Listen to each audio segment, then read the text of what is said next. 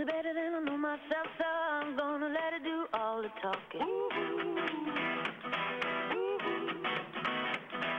I came across a place in the middle of nowhere with a big black horse and a cherry tree. I felt a little fear upon my back. I said, don't look back, just keep on walking.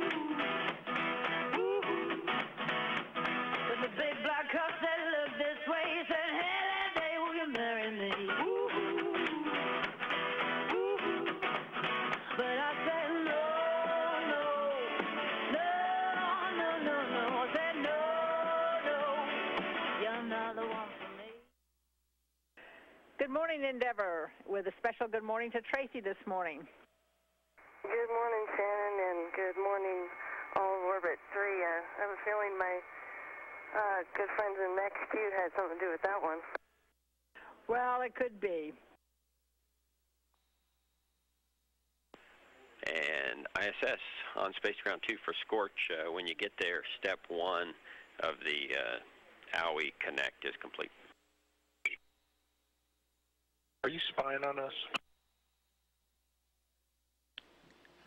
Charlie Hobaugh and uh, Clay Anderson, along with Al Drew uh, in the Destiny laboratory of the International Space Station, talking to station communicator Tony Antonelli in the Space Station Flight Control Room about uh, the start of some of the early steps in the procedures uh, regarding this audio interface unit troubleshooting plan that is on tap for today. In Houston on 2 for step 1.4.9, uh, while we ran this first self-test, we never really saw a good waveform. We got spurious waveforms, you know, it kind of came in and out. It says the test data acquisition is complete. Uh, we could use some guidance. Okay, yeah, we copy uh, 149, and uh, give me a sec. Good view of mission specialist Al Drew uh, in the Destiny laboratory along with Clay Anderson uh, as they uh, work to read uh, voltage uh, readings, signal strength basically uh, from the input connector using a scope meter uh, for this uh, docked audio troubleshooting plan uh, that is underway to try to alleviate the cause of intermittent and broken signals. Basically, over the past few years, this audio system has had intermittent communications problems as well as some non-functional communications on what is called ICOM or internal communications that the crew uses to talk to one another on board.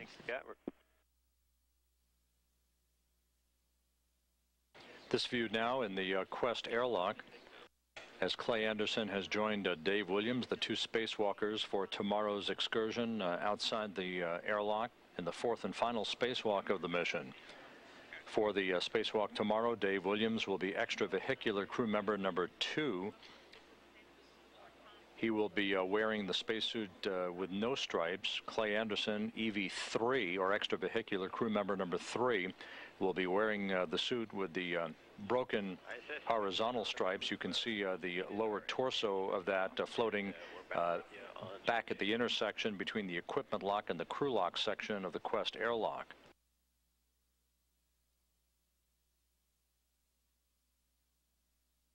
ISS copies. Are you getting the video of that screen right now? We, we are getting the video, and that looks good. So we're going to focus in on the scope meter. We're going to scratch our head a little bit, and then we'll get back to you. Okay.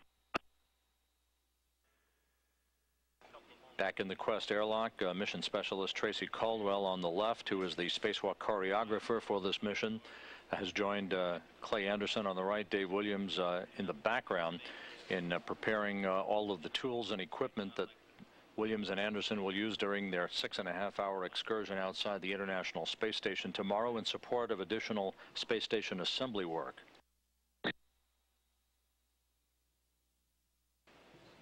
This uh, procedure uh, that uh, is mostly uh, under the purveyance of Al Drew on board the station, with the assistance from time to time by pilot Charlie Hobaugh, essentially takes uh, a variety of readings of signal strength from pin connectors and uh, various places along uh, the myriad of cables that stretch uh, through the docked interface of the International Space Station and Endeavour uh, to try to determine if there is a source of contamination, a bent pin, a broken wire someplace that may be contributing to this intermittent and choppy communications that uh, has been noted over the course of uh, several shuttle missions to the complex. Hey, Tony, just as a note, you probably already know it, um, on the um, PCS airlock oxygen system high pressure page, the uh, UIA supply press is, uh, is showing a, a red box with an L. I didn't think that was expected, but I wasn't positive.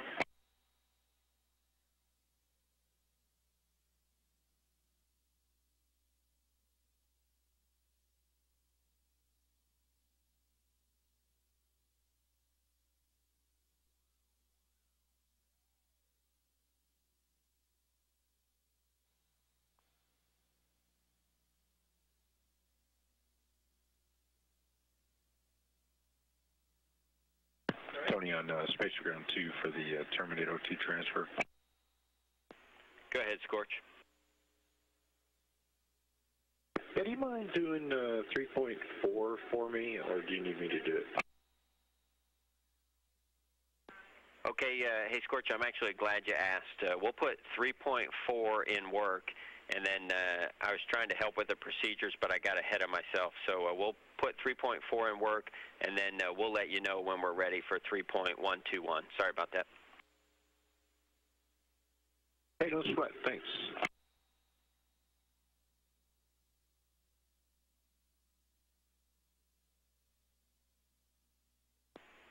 And Scorch on Space to Ground 2, we are ready for 3.121. Well, that was fast. Thanks. I'll start it.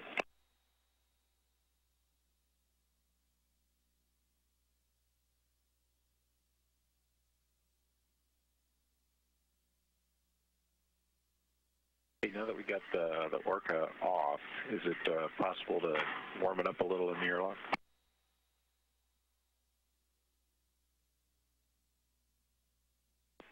Okay, Scorch, uh, thanks for reminding us. Uh, we had that on our list from yesterday. We'll put that in work. Thanks. Uh, Clay has his uh, Canadian jacket on.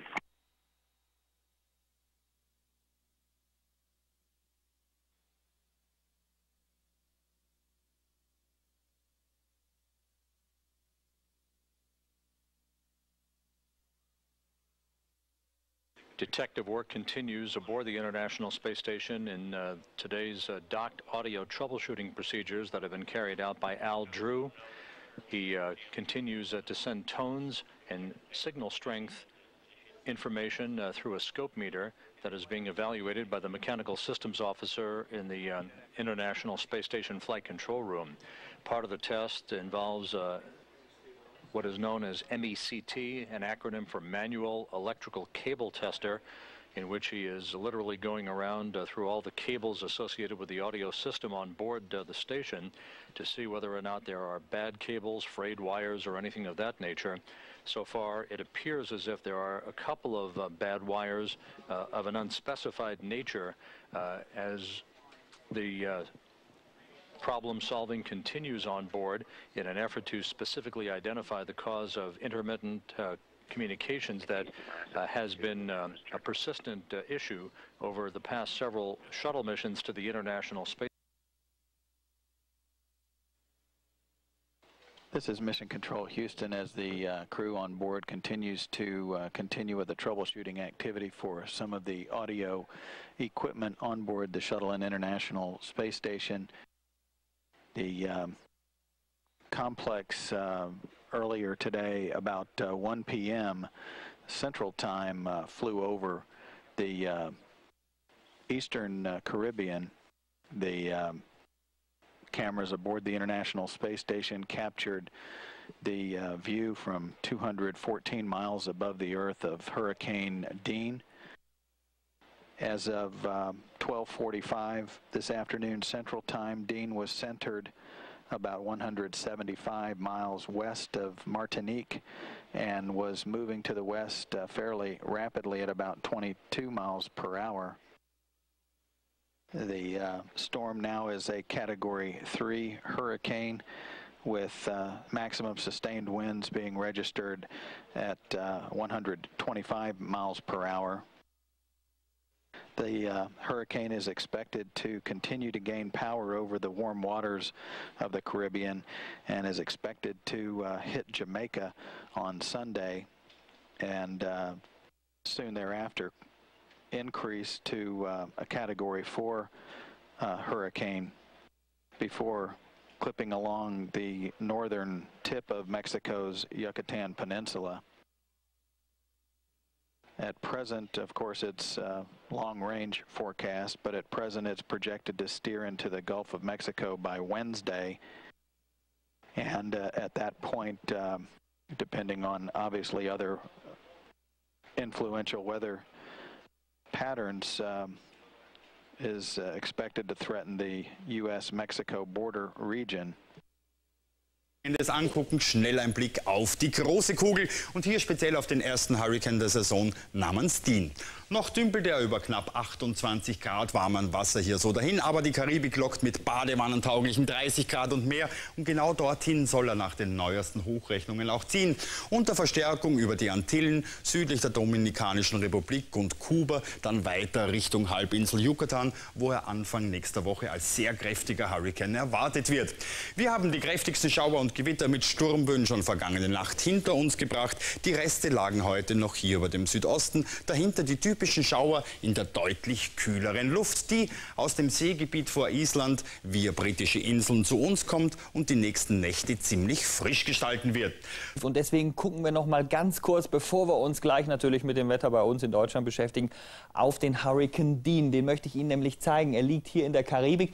Zur Orientierung, hier ist Haiti, hier ist Jamaika und hier können Sie sehr schön hingucken und sehen, wenn Sie hingucken, nämlich das Auge von Dean. Und jetzt lassen wir das Ganze mal bewegen und Sie sehen seine Bewegungsrichtung hier auf Jamaika zu. Und nach den derzeitigen Berechnungen sieht es so aus, als würde Dean am Sonntag um 20 Uhr mitteleuropäischer Sommerzeit ungefähr jedenfalls auf Jamaika auftreffen. Die Windgeschwindigkeiten heute schon gewaltig, 300 Kilometer pro Stunde die Spitzenböen. Das ist ein richtiger Wirbelsturm. Und jetzt schauen wir. Let me take you now to outer space, actually. Shot of Hurricane Dean, powerful Hurricane Dean from the International Space Center. The center of the hurricane now 270 kilometers south of Santo Domingo in the Dominican Republic. Dean was continuing in a forward movement that would take it across the northern uh, coast of the Yucatan Peninsula.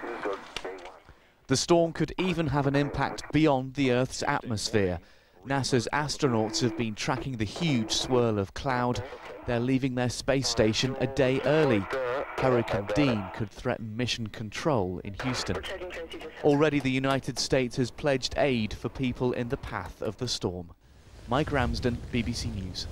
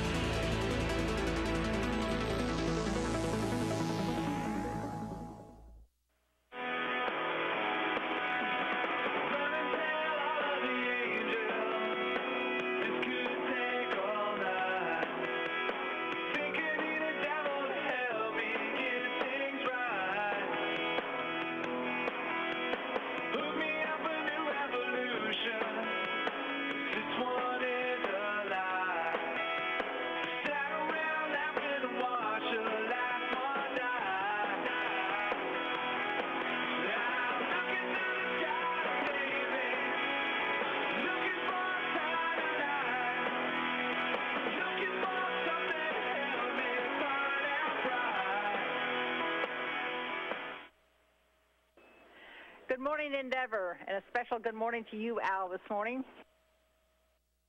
Well, thank you, Shannon. Good morning. Uh, thanks also to my niece Courtney, who turns 18 tomorrow for that song, and to her mother, Karen, who uh, celebrates her birthday today. All systems in good shape as uh, we are joining Dave Williams and Clay Anderson along with uh, Scott Kelly and Tracy Caldwell in the um, Quest airlock of the International Space Station as they prepare for the fourth and final spacewalk of this mission. As you can see them in their liquid cooling garments in the equipment lock section of Quest, continuing to pre-breathe pure oxygen uh, with their masks on as part of the uh, camp out and pre-breathe protocol. They spent the night in the Quest airlock last night, beginning the process in a slightly depressurized uh, environment to cleanse nitrogen out of their bloodstreams and prevent any condition known as the bends from developing once they move out into the vacuum of space later this morning. A good look here at the Destiny Laboratory of the International Space Station. Uh, and at the bottom of your screen, pressurized mating adapter number two, the forward docking port on the International Space Station to which Endeavour has been linked uh, since it docked uh, to the station on August the 10th.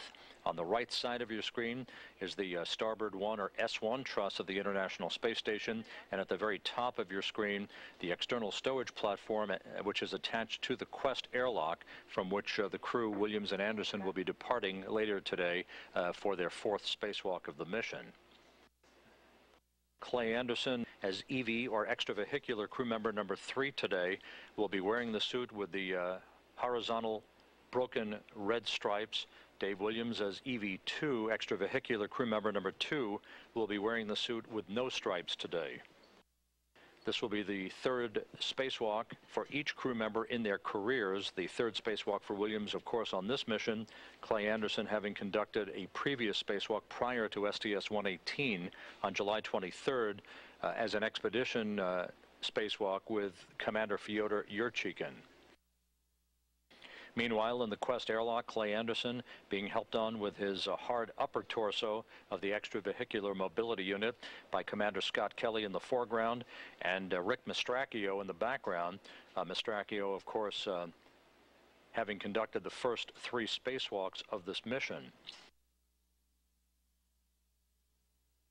Go ahead, Tony.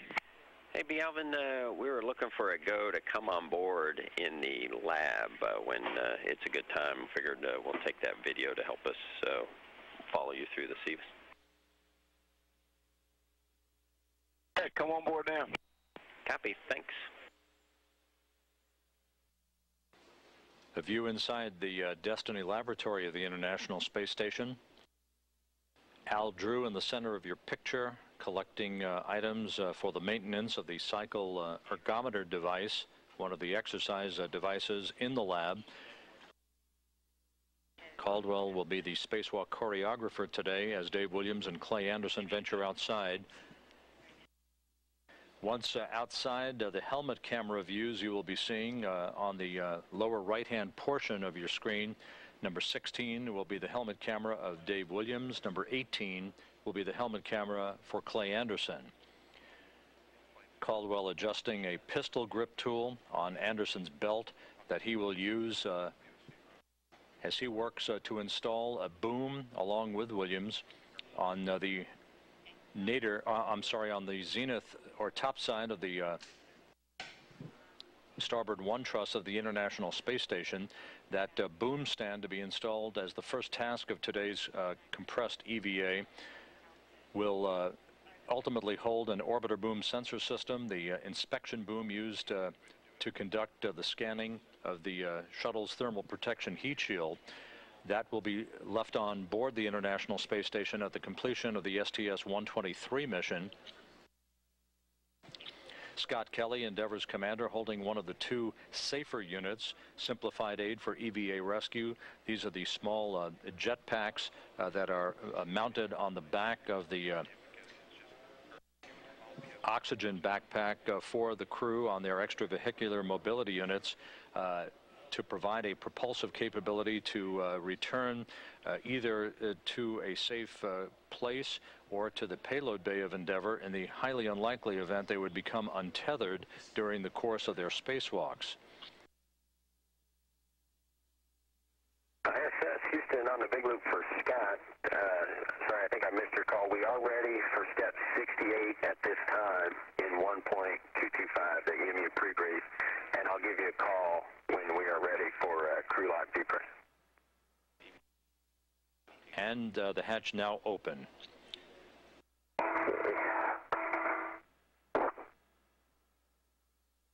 That the hatch is open and locked in place. And I got the emergency MPV valve closed. So when you guys are ready, Dave first, then Clay. Staggered switch throws. Power to back. Okay, and by one step. You see I'm ready when, whenever you are. I'm ready for you. Come on out. Okay. Clay, do I look like uh, I'm in a good config free grip? PRQ's in, PGQ's in. Dave Williams about to move out of the Quest airlock. Uh, those particles that you see emanating from uh, the airlock Sounds good, thanks. is uh, said by the EVA officer Paul Baim in Mission Control to be uh, particles of water from the crew's uh, sublimators on their spacesuits. That's the, that's the you. That's the you, there you go. Hang up a little bit there. Okay. The uh, suits are in good shape, according to the uh, spacewalk officers here in Mission Control. ATC. I'm just out of the airlock right now. And I'll get in config to get the waist tethers all hooked up, the safety tethers, I should say. Dave Williams uh, beginning the third spacewalk of his career, having logged 12 hours, 45 minutes of spacewalking time on this mission. Getting ready to put my Tracy Houston on the big loop. It looks like we're seeing uh, water or something coming out of uh, Dave's suit. We're wondering if uh, you can have him take a look around, see if he sees any of it. Go ahead, Dave. You see, I've looked underneath the DCM cover. I don't see any water, and the DCM cover is back in place. And um, I didn't get the uh, water switch throw early or anything like that. I certainly waited until Scott told me to. Uh, we see a suit in a good config. We just wanted to uh, verify that we didn't have any leaks there, and you have a go to press. All right. Thanks a lot. Okay. Go ahead, Dave, and uh, resume your tethering. I understand you got uh, black on black on 0550, your own safety tether? Um, that's affirmative. Let me give you an update as to where I'm at. Okay. You see, it is locked on my BRT.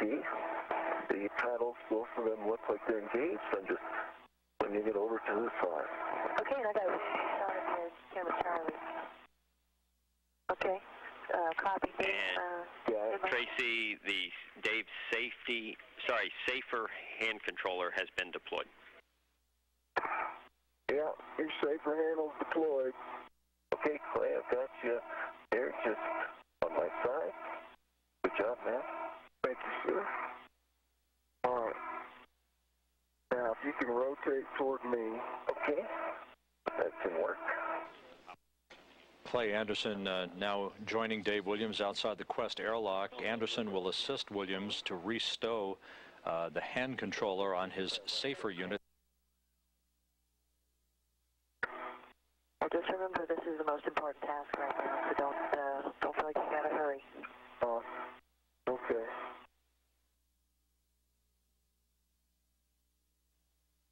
Hey, you're doing a great job, man. Appreciate your help. Nice to know that thing deploys, huh? Yeah.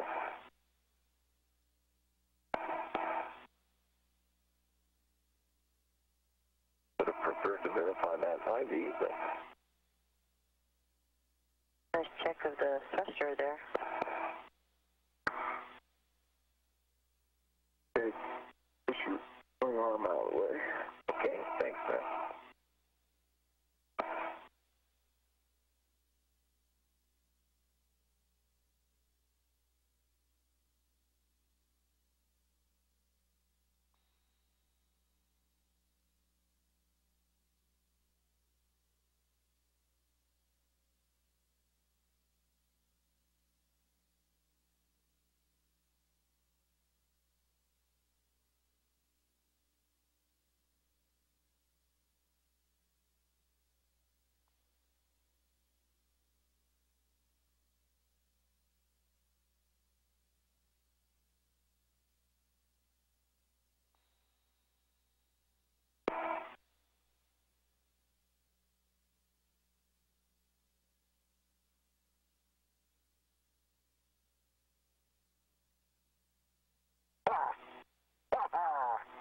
Way to go. Good job, man. All right, stand by. Really appreciate it. Well done. Yeah, you owe me big time. I appreciate it.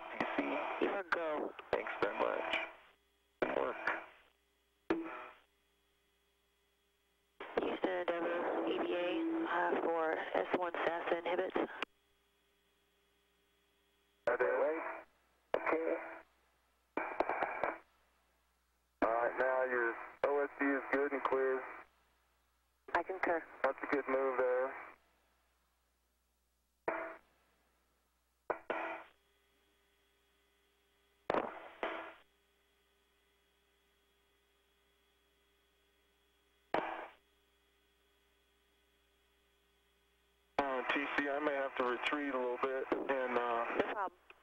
stay under his. You want me under or over his tether? Can you see it, Clay? Yeah, but I got a SAS antenna and stuff that makes it a lot harder over here, so. Yeah, I know. Like I say, they put it on the wrong side. Okay, it's good. Okay, in the middle position. Uh-huh. Clay was in the middle position. Yes, ma'am. Gonna glove check out of me too, probably, Tracy, huh? You bet. My gloves look fine.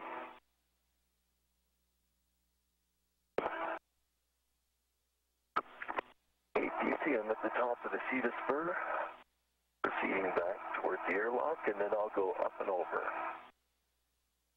Copy that. Clay, big picture for you is uh, getting that large ORU bag going. Okay.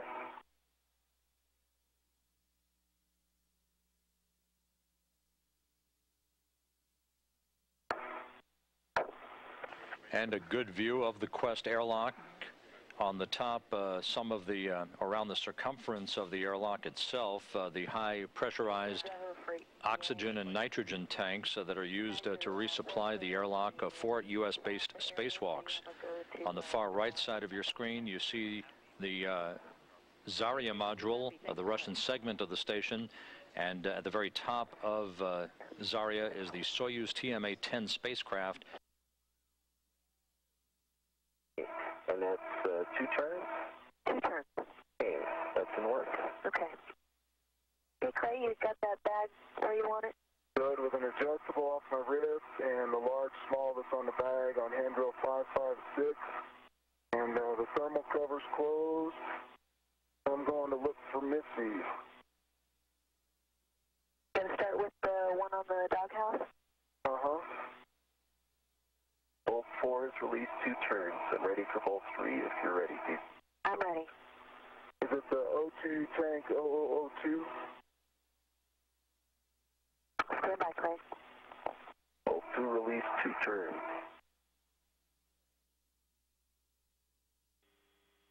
Alpha 6, clockwise. A good view of one of the uh, materials for ISS experiment packages known as MISSE. Again, uh, a variety of witness plates and materials experiments in these uh, boxes that fold up like a suitcase. Attached uh, to the Quest airlock, uh, the fourth and fifth in a series of such experiments that will be uh, detached through a series of retention pins that will be pulled out. And these experiment packages uh, brought back inside to be returned to Earth.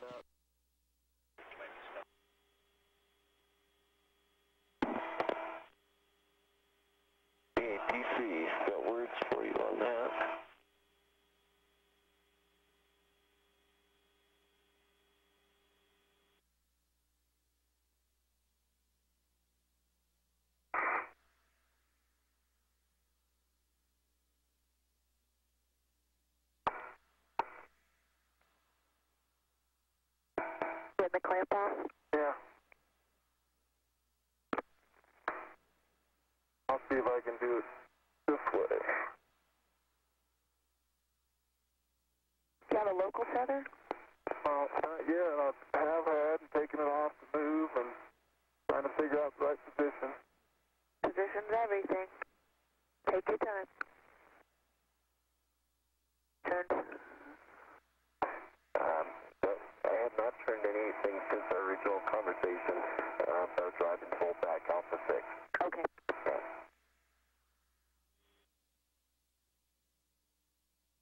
Dave, and while I'm talking to you, congratulations on breaking the uh, Canadian EVA record for a number of EVAs and also the uh, first Canadian to lead a spacewalk. Hey, thanks very much, Scott. It's uh, a real honor and pleasure to be able to do it, and uh, I really had a great time riding the arm the other day. That was a lot of fun. Congratulations, partner. Hey, thanks, man. Okay. Bravo 1, counterclockwise 2. Okay, stand by. How you doing, Clay? I'm good. I got a handrail waiting for you. Okay, sounds good. Sorry to keep you waiting there. Oh, no problem. Take your time. Hey, TC, I have my PGT out of the swing arm. I'm ready for setting. Bravo 1, counterclockwise 2. Okay, Bravo 1, counterclockwise 2. Okay, Alpha 1, counterclockwise 2 is set, and this is to remove, correct? Correct. Seven turns. Seven turns, okay? I'll be recording. All right, that's in work.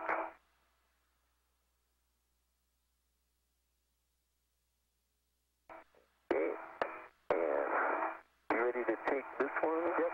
Let her go. Let her go. This is it. Yep. Okay, and I've got this one now.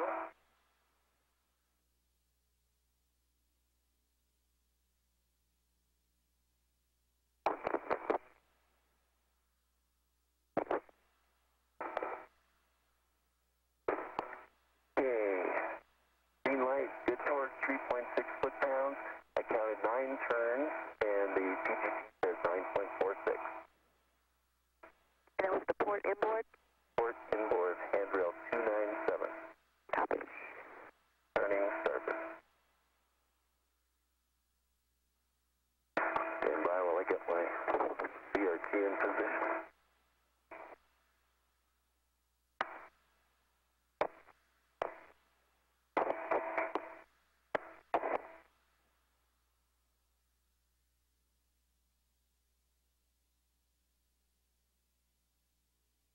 Okay. And well, thank you, Clay. You're welcome. That's great.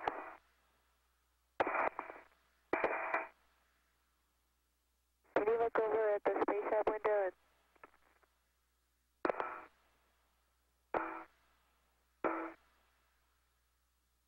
And ready for the remove setting. Bravo 1, counterclockwise 2. Copy Bravo 1. Counterclockwise 2. Bravo 1. Counterclockwise 2 is set. Handrail is off.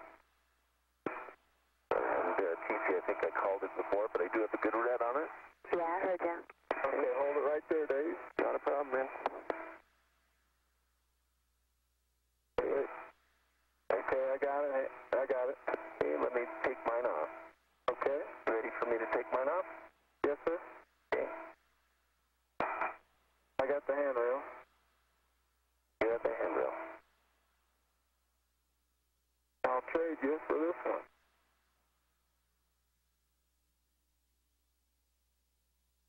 The cool view with the clouds in the back.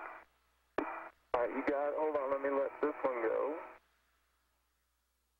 Okay, TC, I got a good rep. Yeah, uh, I saw it. Good tug test. And the other one's on the fish stringer and in the bag. Copy, Clay.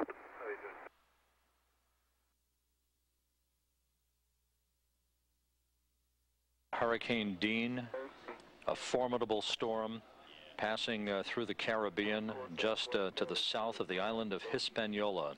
as seen from external cameras on the International Space Station from an altitude of 214 statute miles. Oh, wow. Top to the cycle track. Ooh, man. Yeah, can't miss that. Holy smoke. That's impressive.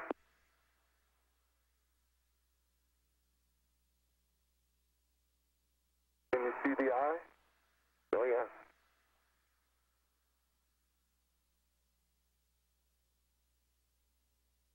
Yep, definitely. Oh, yeah. Wow. All right, Dave, I'm going to put, put another tether on this before I hand it to you. Copy that.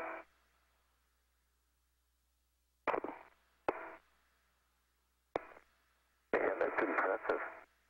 Scary. Only impressive when they're not coming to you. That's true. All right. So here is E2J1.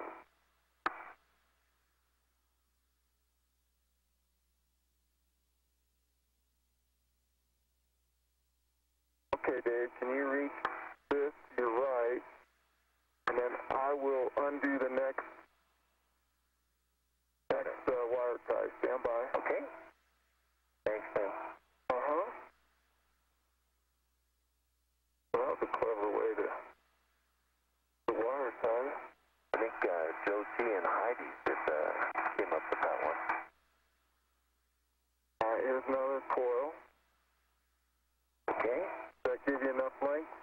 I think it does. And uh, TC is looking at the uh, connector, good EMI band, good pins, no FOD. Looking into the antenna, good pins, no FOD. You ready for me to do up the connection? Please verify it's P2 that you're connecting to 1012. Okay, I've got a label right in front of me. It says P2 slash J1. All right, ready to go. Okay, that's work.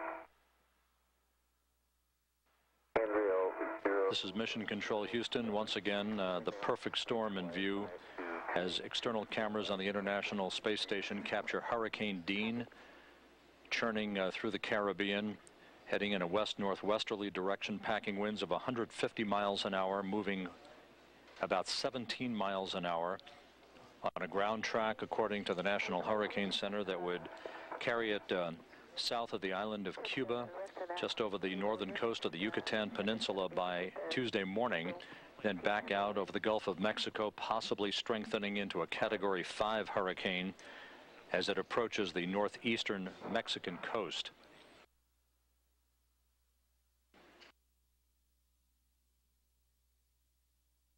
And TC, it uh, doesn't really seem to fit in there really well. Stand by. How's that, Clay? Yes, that's better. Hard to tell. Yeah, so you got a good tug on that. It, Yeah, I think it's okay now. all right, sounds good. Thanks, man. All right, let me, it takes me a Three hours, 40 minutes into the spacewalk, Williams and Anderson uh, working at the forward end of Destiny as they uh, are demating uh, several connectors so that uh, special electrical fasteners and connectors associated with this new wireless instrumentation antenna can be hooked up uh, to begin uh, flowing data back to the engineers on the ground here in Mission Control. Tool is inserted.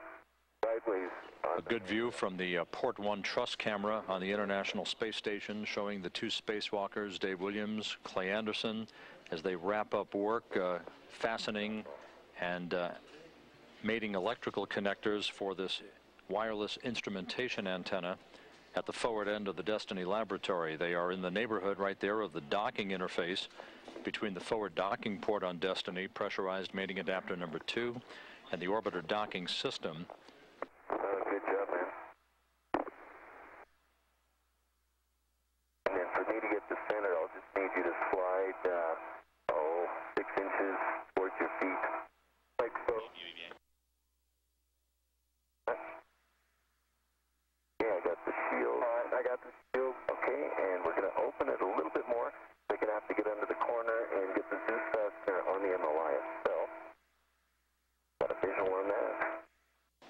from uh, Clay Anderson's helmet camera as he lifts one of the uh, shields, a micrometeoroid orbital debris shield, on the uh, Destiny laboratory so that uh, he and Dave Williams can complete the mating of electrical connectors.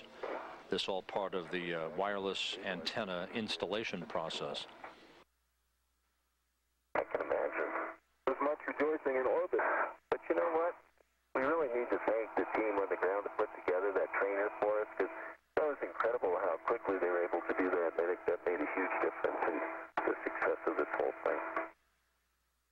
could have seen it.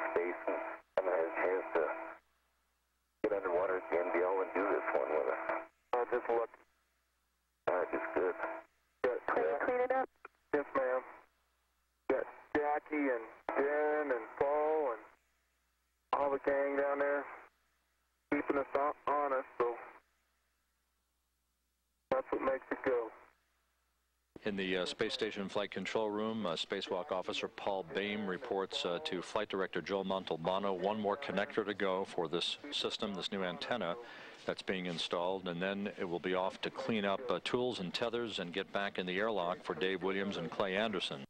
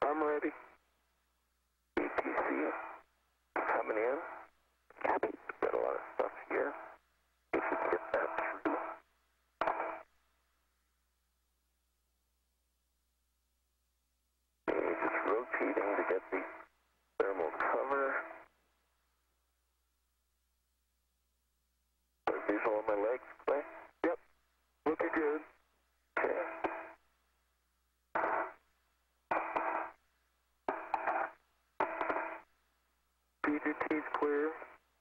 Copy that. Thanks, man. Thermal cover's coming close.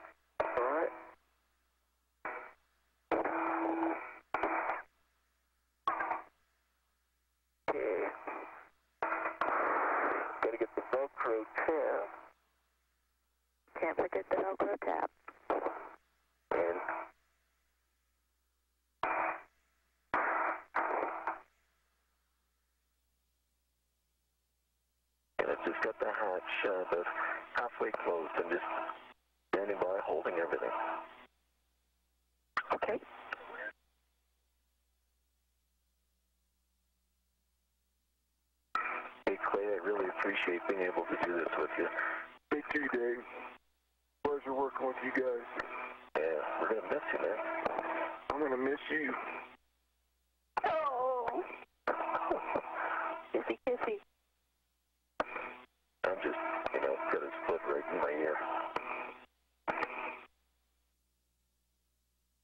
Inside the uh, Quest airlock, mission specialist Tracy Caldwell, who throughout uh, Endeavour's mission to the International Space Station has served as the intravehicular crew member, basically the onboard choreographer throughout the four spacewalks, the uh, the four spacewalks during STS-118 and Endeavour's voyage to the International Space Station totaled 23 hours 15 minutes.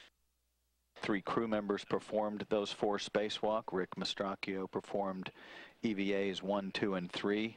He was joined on the first two by Dave Williams, Canadian Space Agency astronaut. And then Dave Williams uh, conducted uh, EVA 4 today with uh, Clay Anderson, Expedition 15 flight engineer. And Anderson joined Mastracchio on the third spacewalk. Mastracchio's um, three spacewalks uh, gave him a total of 18 hours and 13 minutes of EVA time on this uh, mission. And the two crew members that performed today's spacewalk, Dave Williams on three EVAs, uh, totaled 17 hours 47 minutes. Clay Anderson uh, now has three EVAs, totaling uh, 18 hours 11 minutes. The two on this mission added to the stage EVA that he conducted earlier with his commander, Fyodor Yurchikhin, back on July 23rd, totaled 7 hours, 41 minutes. 64 spacewalks now have been conducted out of the uh, airlocks of the International Space Station, both the Quest airlock and the uh, Pirs docking compartment and also a, uh, the airlock on the Zvezda uh, service module. Today's EVA brings the space station assembly total to 92 EVAs. The other 28 were based out of shuttle airlocks.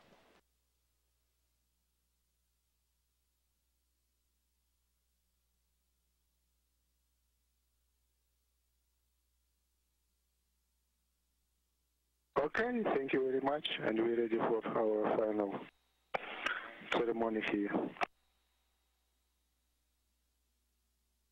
Yeah, just uh, ready to shake hands, to big, big, yeah, everyone, and say thank you and goodbye, close the hatch, and say goodbye to 118 SDS and Endeavour, and thanks them for a great work together, mutual work we did.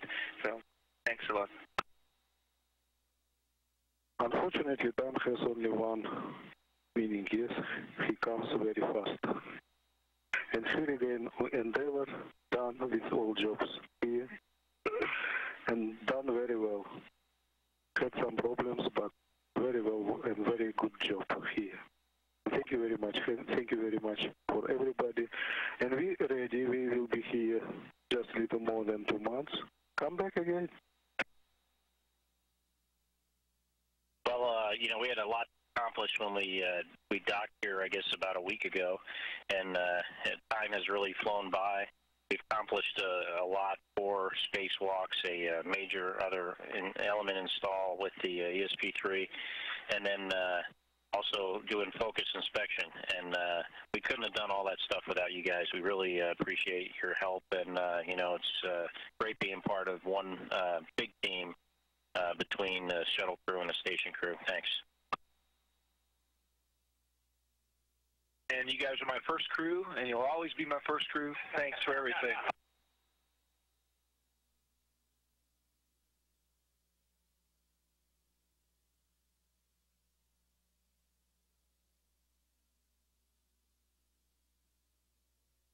The joint uh, crew of Space Shuttle Endeavour and the International Space Station's Expedition 15 crew uh, bidding farewell, and the uh, sh seven shuttle astronauts will head back over to Endeavour, leaving Expedition 15 behind. The um, Expedition uh, 15 crew will carry on with its stage operations until the uh, arrival of Expedition 16 in October.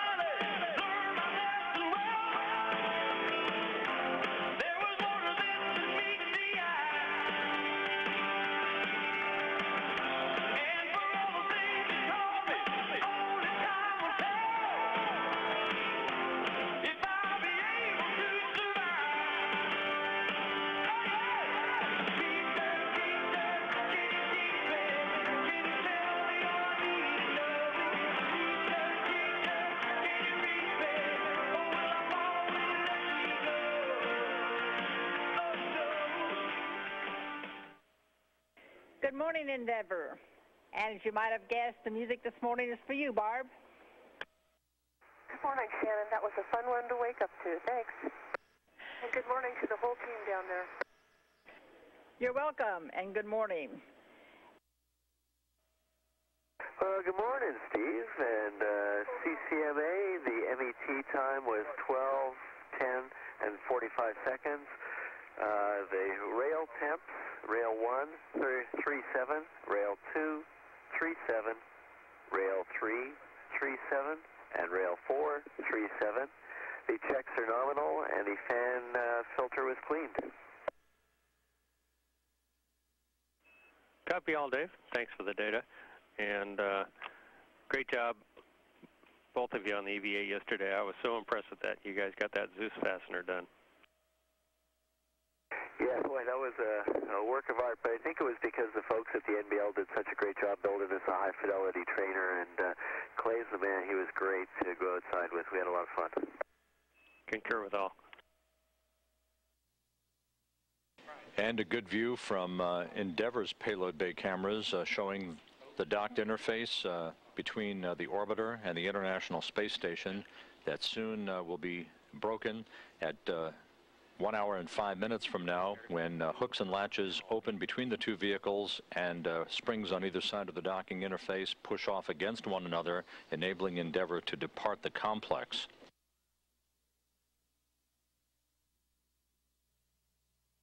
Were curious if the uh, wing leading, leading edge sensors, if the batteries were still working. Otherwise, we can uh, tear that down.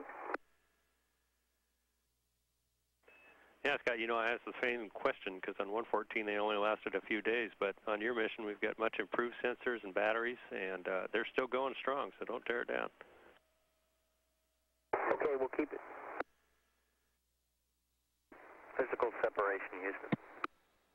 Roger, physical separation. copy. Undocking confirmed. Endeavour set sail from the International Space Station. Next port of call, Kennedy Space Center, Florida, Tuesday afternoon. MCC Houston, MCC Huntsville, MCC Moscow, Endeavour from ISS, Endeavour departure.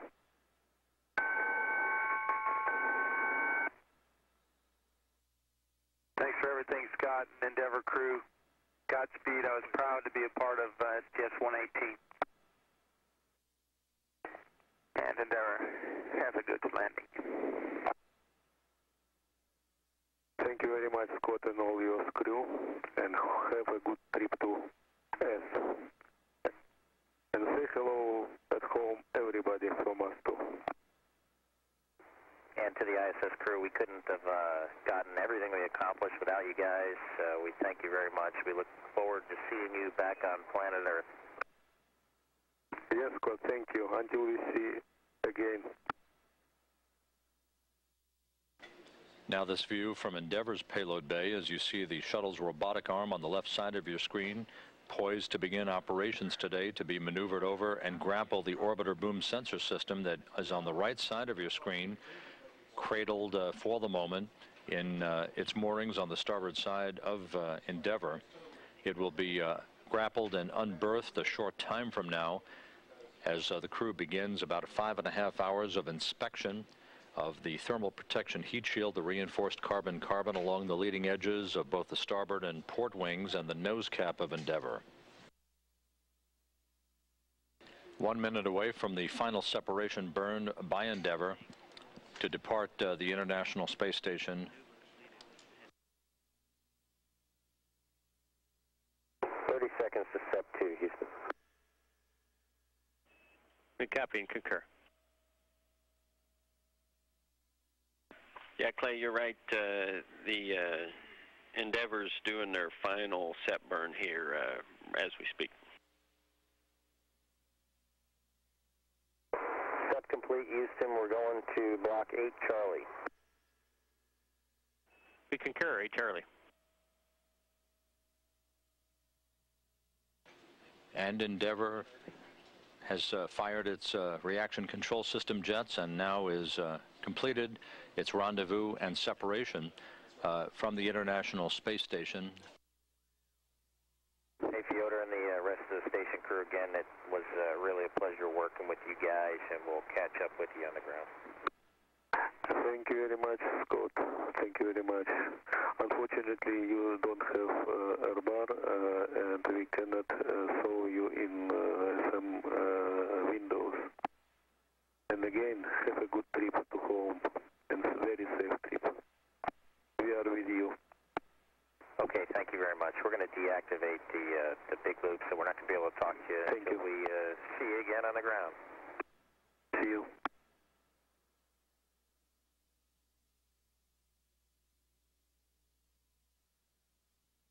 This view of the uh, orbiter docking system right behind the aft bulkhead of the crew cabin of Endeavour, which uh, up until an hour and 47 minutes ago was linked to the International Space Station. Now the uh, orbiter docking system powered down for the rest of the flight as uh, the shuttle's robotic arm moves in to grapple the orbiter boom sensor system for the late inspection of the vehicle. And this view now showing uh, the shuttle's robotic arm grappled to the orbiter boom sensor system and uh, over the right orbital maneuvering system pod of the shuttle Endeavour. That is the International Space Station at a distance of almost five statute miles away.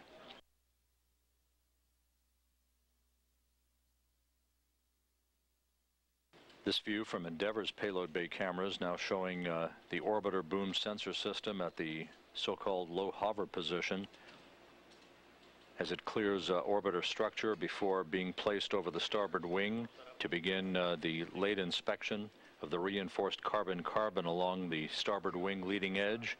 It then will be maneuvered uh, to inspect the nose cap of Endeavour, and then it will be maneuvered to the port wing uh, for that uh, area's inspection. Hey, Ray, check this out. If you like it, I'll uh, give you the track. Checking. Scorch, we like your load. Ready to track.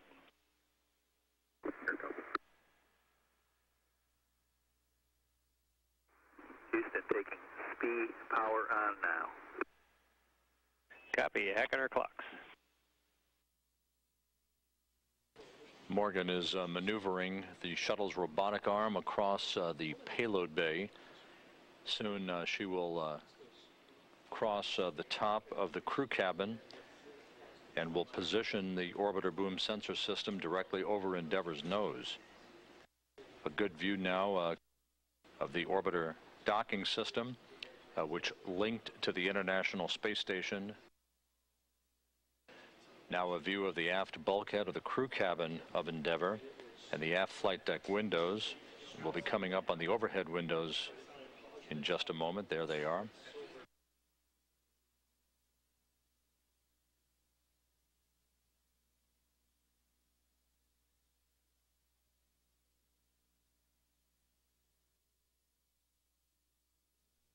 A view from Endeavour's payload bay cameras uh, showing the configuration of the uh, shuttle's robotic arm and the uh, orbiter boom sensor system forming a 100 foot long arm.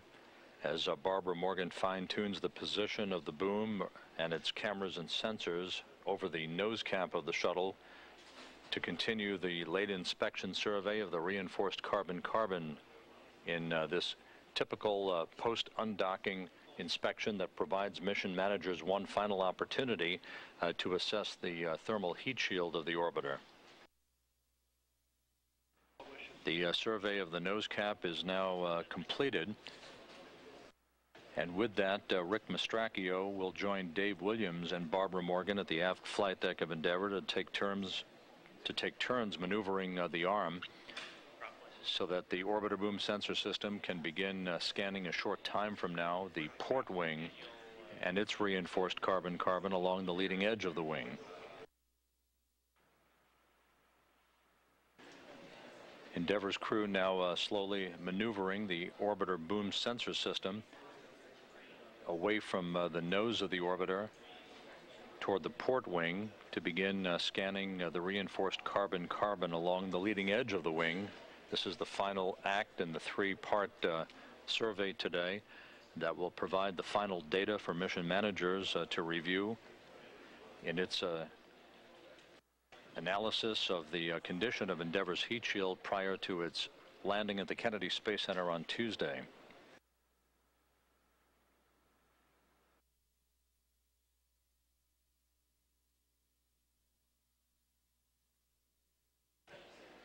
Coming into view, Hurricane Dean as it passes over Kingston, Jamaica. Packing winds of 145 miles an hour, moving westward at 18 miles an hour. This captured by cameras on the International Space Station at an altitude of 214 statute miles.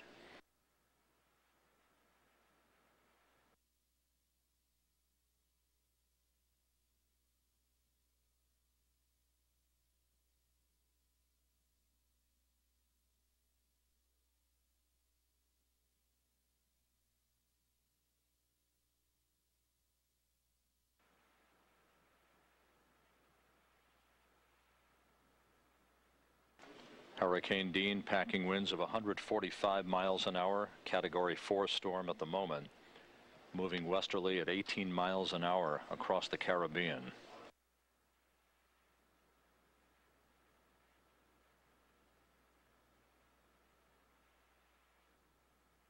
Houston, we're passing right over the eye of the hurricane.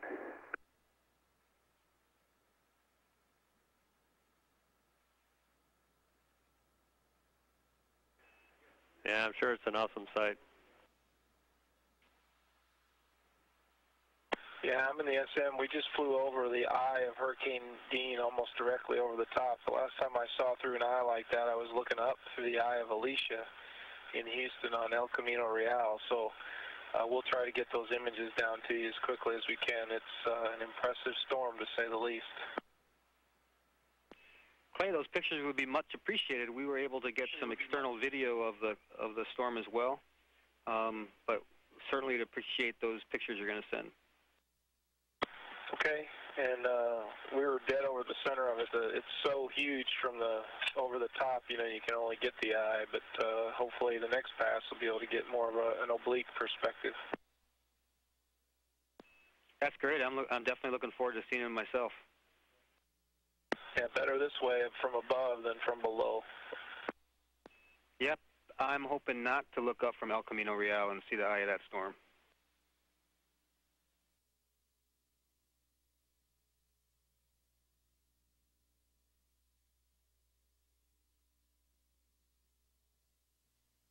Endeavour Houston for big picture. Go ahead, Shane. Hey, Scott, just want to let you know um, JSC is going to be open for normal operations tomorrow. Um, they were thinking about closing it earlier in the week, but uh, now it's going to be open as normal. Um, Tuesday for landing, we're going to bring up KSC and Edwards only.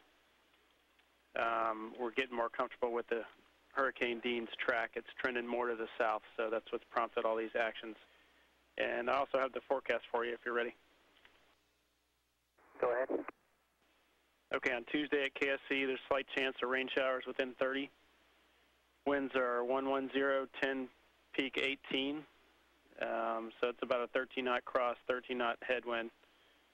At Edwards, view at uh, 25,000, winds 230, 8, peak 14. So crosswind of 1 knot, headwind of 14. Okay, thanks for uh, all that info, Shane. Appreciate it. No problem. We don't intend to call you again tonight, so have a great night, and uh, we'll be here if you need us. But talk to you tomorrow. Hey, Shane, uh, great working with you today. Thanks a lot, and uh, thanks for uh, everyone's help uh, on the team there on the ground. Uh, we'll call you if we need you. Thanks. Now, as Dean has made its way across the Caribbean, already five fatalities. I want to show you just kind of a different perspective. This we are looking at is Cuba. Here is Jamaica, and we've got the Cayman Islands here. Enhanced satellite imagery shows it rolling along. This is a very powerful Category 4 hurricane. Will it gain intensity? Well, right now, the computer models are saying it should stay at a Category 4 hurricane. Now, just to compare, because a lot of people remember two years ago. When Katrina made landfall, it was a Category 3 hurricane, but we know as a result of the low-lying area, the devastating weather that it did produce there with the severe flooding across that region. Well, for these tiny island nations, what we're looking at uh, we're looking at mudslides, landslides, uh, probably total destruction of uh, buildings and homes there. The wind, as I mentioned, associated with Dean, 230 kilometers per hour, or just about 145 miles per hour, roaring towards the west, still on its trek through the Caribbean. We'll keep you updated. I'll be back in just about 15 minutes with another update. Der Wirbelsturm nimmt Kurs auf Mexiko und Texas. Dort wird schon mal alles in Sicherheit gebracht. Und selbst die Astronauten der Endeavour müssen ihre Mission vorsichtshalber früher beenden. Wie gefährlich Dean schon jetzt ist, bekamen einige Karibikinseln zu spüren. Wo immer Hurricane Dean auf Land trifft, richtet er schwere Verwüstungen an. Guadeloupe und Martinique hat es zuerst getroffen, mit der Wucht von mehr als 200 Kilometern in der Stunde. Sechs Menschen sind bisher in der Karibik ums Leben gekommen, Ortschaften verwüstet, Plantagen zerstört. Aufräumarbeiten haben begonnen, der Hurricane aber zieht weiter. Auf seinem Weg durch die Karibik ist der Wirbelsturm immer stärker und gefährlicher geworden. Jetzt bedroht er Jamaika und die mexikanische Karibikküste. Dort bereiten sich die Menschen vor, verbarrikadieren Fenster von Wohnungen und Läden. Flüge nach Cancun an die mexikanische Ferienküste sind gestrichen. Touristen versuchen rechtzeitig nach Hause zu kommen. Alle sind gut vorbereitet, trotzdem, wir wollen schnell weg. Gestern sind wir angekommen für die Flitterwochen. Den Maya-Palast haben wir gesehen, jetzt geht's schon wieder nach Hause. Was die Menschen vor Ort in Angst und Schrecken versetzt, ist aus 350 Kilometern Höhe gesehen ein schönes Bild. Der Hurricane aus der Perspektive der Internationalen Raumstation und der Astronauten bei ihrem letzten Außeneinsatz. Mittlerweile hat die Endeavour ihren Rückflug zur Erde begonnen, einen Tag früher als geplant, weil der Hurricane das Kontrollzentrum in Texas bedrohen könnte. In der Dominikanischen Republik und in Haiti sind bei Verwüstungen durch den Hurrikan Dean mindestens fünf Menschen ums Leben gekommen. Der Wirbelsturm schwächte sich im Laufe des Tages ein wenig ab, gilt bei Experten aber weiterhin als extrem gefährlich. In Mexiko, auf Kuba und Jamaika begannen Vorbereitungen zum Schutz von Bevölkerung und Touristen. Wegen des Hurrikans musste die Raumfähre Endeavour einen Tag früher als geplant von der Raumstation ISS abkoppeln und ihre Rückreise zur Erde antreten. Die Landung wurde auf Dienstag vorgezogen. Der Wirbelsturm könnte auch den geplanten Landeort und das Kontrollzentrum der NASA in Texas bedrohen. Neben dem Hurrikan beschäftigt auch eine beschädigte Hitzekachel an der Raumfähre die Experten der NASA. Nach umfangreichen Tests sieht die US-Raumfahrtbehörde aber keine Gefahr beim Eintritt in die Erdatmosphäre. Verre.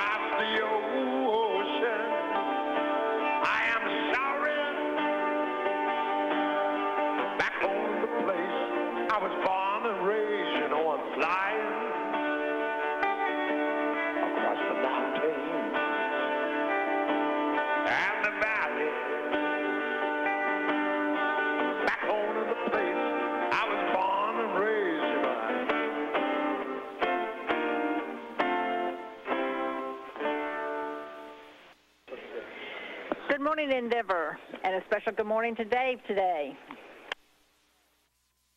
Hey, Houston Endeavour, uh, good morning. It was a great song to hear for uh, the day before we come back to land. Outside the aft and overhead windows, the water dump on ongoing uh, through nozzles on the outside of Endeavour, excess uh, supply and wastewater being dumped or vented overboard. Those uh, crystals uh, visible through the windows?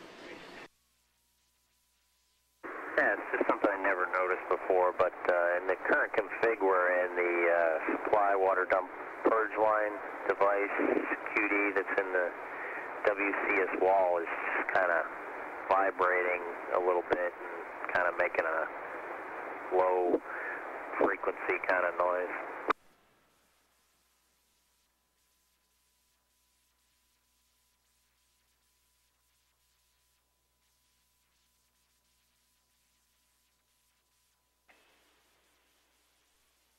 Okay, Scott, uh, what we're hearing here is that that's not too unusual. Uh, understand it sounds like if there's some air gurgling through it.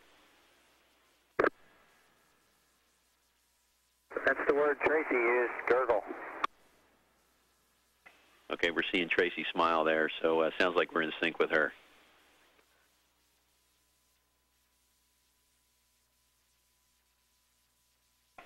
Endeavour Houston, as uh, Scorch ponders his threshold crossing heights, uh, we have some news to offer up regarding late inspection.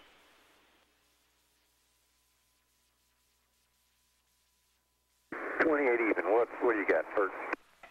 That's funny. Uh, we didn't see that here, but okay. Um, the vehicle uh, has been cleared for entry uh, after late inspection, so that's uh, that's some great news. And uh, when you're ready, we have some words to offer up regarding the weather for uh, tomorrow landing day. Please stand by.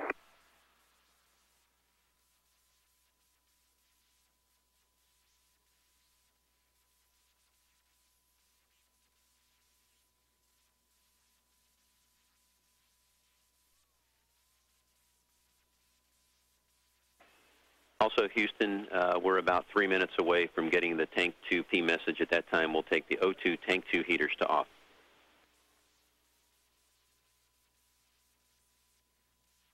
This is Mission Control Houston, continuing to watch video on the flight deck of the Space Shuttle Endeavour with pilot Charlie Hobaugh using a simulated uh, software application to run through entry and landing operations in preparation for Endeavour's landing on Tuesday. Astronaut uh, Chris Ferguson here in Mission Control calling up to the crew to indicate that uh, Endeavour has been cleared for landing in relation to the late inspection that was done on Sunday. Engineers analyzed all that information from the orbiter boom sensor system and its uh, packages of uh, data to indicate that Endeavour is uh, cleared for uh, entry and landing on Tuesday. This view from the International Space Station coming from about 213 statute miles above the Earth as the space station and Space Shuttle Endeavour orbiting separately over the Pacific Ocean, passing over Central America and the Caribbean, where Hurricane Dean is located. At 10 a.m. Central Time, the National Weather Service reported that uh, Dean was a Category uh, 4 hurricane with uh, some strengthening expected later today as Dean is likely to become a Category 5 hurricane prior to making landfall. Dean is moving toward the west at about 21 miles per hour and expected to maintain that westward or west-northwestward motion over the next 24 hours. On that track, the uh, center of the hurricane is expected to make landfall on the Yucatan Peninsula very early Tuesday morning. This view from the Space Shuttle Endeavour also capturing Hurricane Dean as it flies overhead. The Space Shuttle Endeavour flies overhead about 213 statute miles above the Earth. Endeavour Houston for Scott. Go ahead, Jake.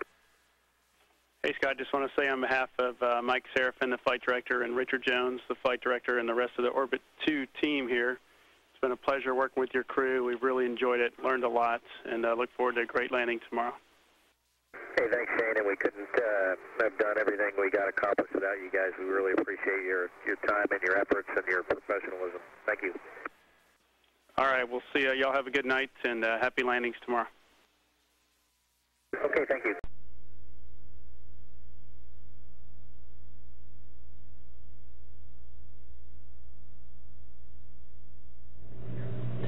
Well, good day and welcome back to the Johnson Space Center for our post-mission management team briefing for today. Joining us to discuss the progress of the mission on the eve of Endeavour's homecoming are Wayne Hale, the Space Shuttle Program Manager, and Mike Suffredini, the International Space Station Program Manager. And we'll start off with Wayne. Thank you, Rob. It's good to be here this afternoon. Uh, today's uh, mission management team meeting was rather benign. Uh, it reviewed the weather, reviewed a few uh, things that were going on in the in the last hours of the mission and uh, gave concurrence with the plan to attempt landing tomorrow. One of the big discussion items, of course, was the track of Hurricane Dean and the continuing projections uh, of where that hurricane will make landfall. Uh, at this time, we believe it poses little hazard or little risk to the Johnson Space Center uh, mission control area. So uh, we're proceeding with our nominal entry plans. Uh, tomorrow, as you heard Entry Flight Director Steve Stich brief earlier, we will primarily uh, look at the Kennedy Space Center and, and uh, if weather conditions are not conducive uh, to getting back to Florida with Endeavour, we'll most likely attempt our, our, wave off and attempt Kennedy again on a subsequent day. Um, so all is going well on board Endeavour. Uh, the crew has executed very well, and I, I wanted to take a minute to recap uh, where we've come and where we're going here in the Space Shuttle program, and, and I know Mike Suffredini will talk about what it means to the International Space Station program. Um, this flight has been extraordinarily productive. Um, the crew, the uh, cargo transfer, the installation of major element uh, on board the International Space Station, uh, removal and replacement of a control moment gyro, all of that has gone very well according to plan. Um, about six weeks ago, I asked the team to try to accelerate the launch by two days. Uh, we were able to accelerate it, in fact, by one day, so by my count, we launched a day earlier than planned, which I think is, uh, is a good, uh, although not terribly st significant statistic. Um, we uh, had a new electrical power system to uh, draw electrical power from the International Space Station to the shuttle, and we wanted to test it out for the first time. And that would allow us the capability to add several days to the flight. Uh, the baseline plan going in uh, to the flight was an 11-day mission. Uh, and in spite of the fact that uh, we abbreviated our work uh, due to Hurricane Dean uh, uh, possibly coming here, we are in fact going to fly a 13-day mission. So we had uh, two extra days, including an, an, extra EVA over the baseline and accomplished all our mission objectives, plus many of the get-ahead tasks that we were asked to accomplish for the International Space Station. So it's been an extraordinarily productive flight, and I think when we look back on the series of flights, we'll see that in the complicated assembly work uh, and support of the International Space Station, it has all gone uh, very, very well indeed. Endeavour, in fact, has performed nearly flawlessly with only minor squawks uh, after coming out of a rather extended period of, of modification and refurbishment. Um, the one issue that I think uh, grabbed a lot of people's attention uh, was the uh, damage that we incurred, again, to the heat shield of Endeavour. Uh, this is a continuing issue that we're working with. Uh, but I think that uh, it's a good time to pause and reflect where we've come from and where we are today. When I uh, was sitting in Steve Stich's chair as entry flight director for 28 shuttle landings, uh, we never knew what the condition of the entry heat shield was. It was always assumed to be good. Uh, we did no inspections, we did no analysis, we just trusted that it was a good thing and we would be safe to enter. now we're smarter. Uh, and over the past five, four or five years, we have put together a great plan to inspect and make sure that the heat shield is in good shape. And if there are any concerns, we have put together the uh, equipment, the procedures, the planning, uh, and the entire process to evaluate whether or not the heat shield is safe for reentry, and if it's not, uh, to provide the capability to repair. And I think you uh, were briefed that we had uh, three or four good options to repair if we felt that was necessary. However, repairs are in and of themselves sometimes hazardous to execute. So like so many things in our business, it becomes a risk trade. Uh, at the final analysis, over uh, uh, having allowed over 200 engineers, specialists in the areas of the thermal protection system, aerothermal heating, uh, to work hundreds of hours, uh, including uh, 4,000 plus hours of supercomputer simulation uh, using uh, well-anchored, test-validated models, um, a series of extremely um, accurate and extensive tests in the reentry simulators, both here at Johnson and at other facilities around the around the NASA um, team and uh, having been peer reviewed by specialists in supersonic flight, uh, hypersonic uh, thermal environments, and so forth, uh, we can say with a high degree of confidence that Endeavour is safe to come home without needing a repair.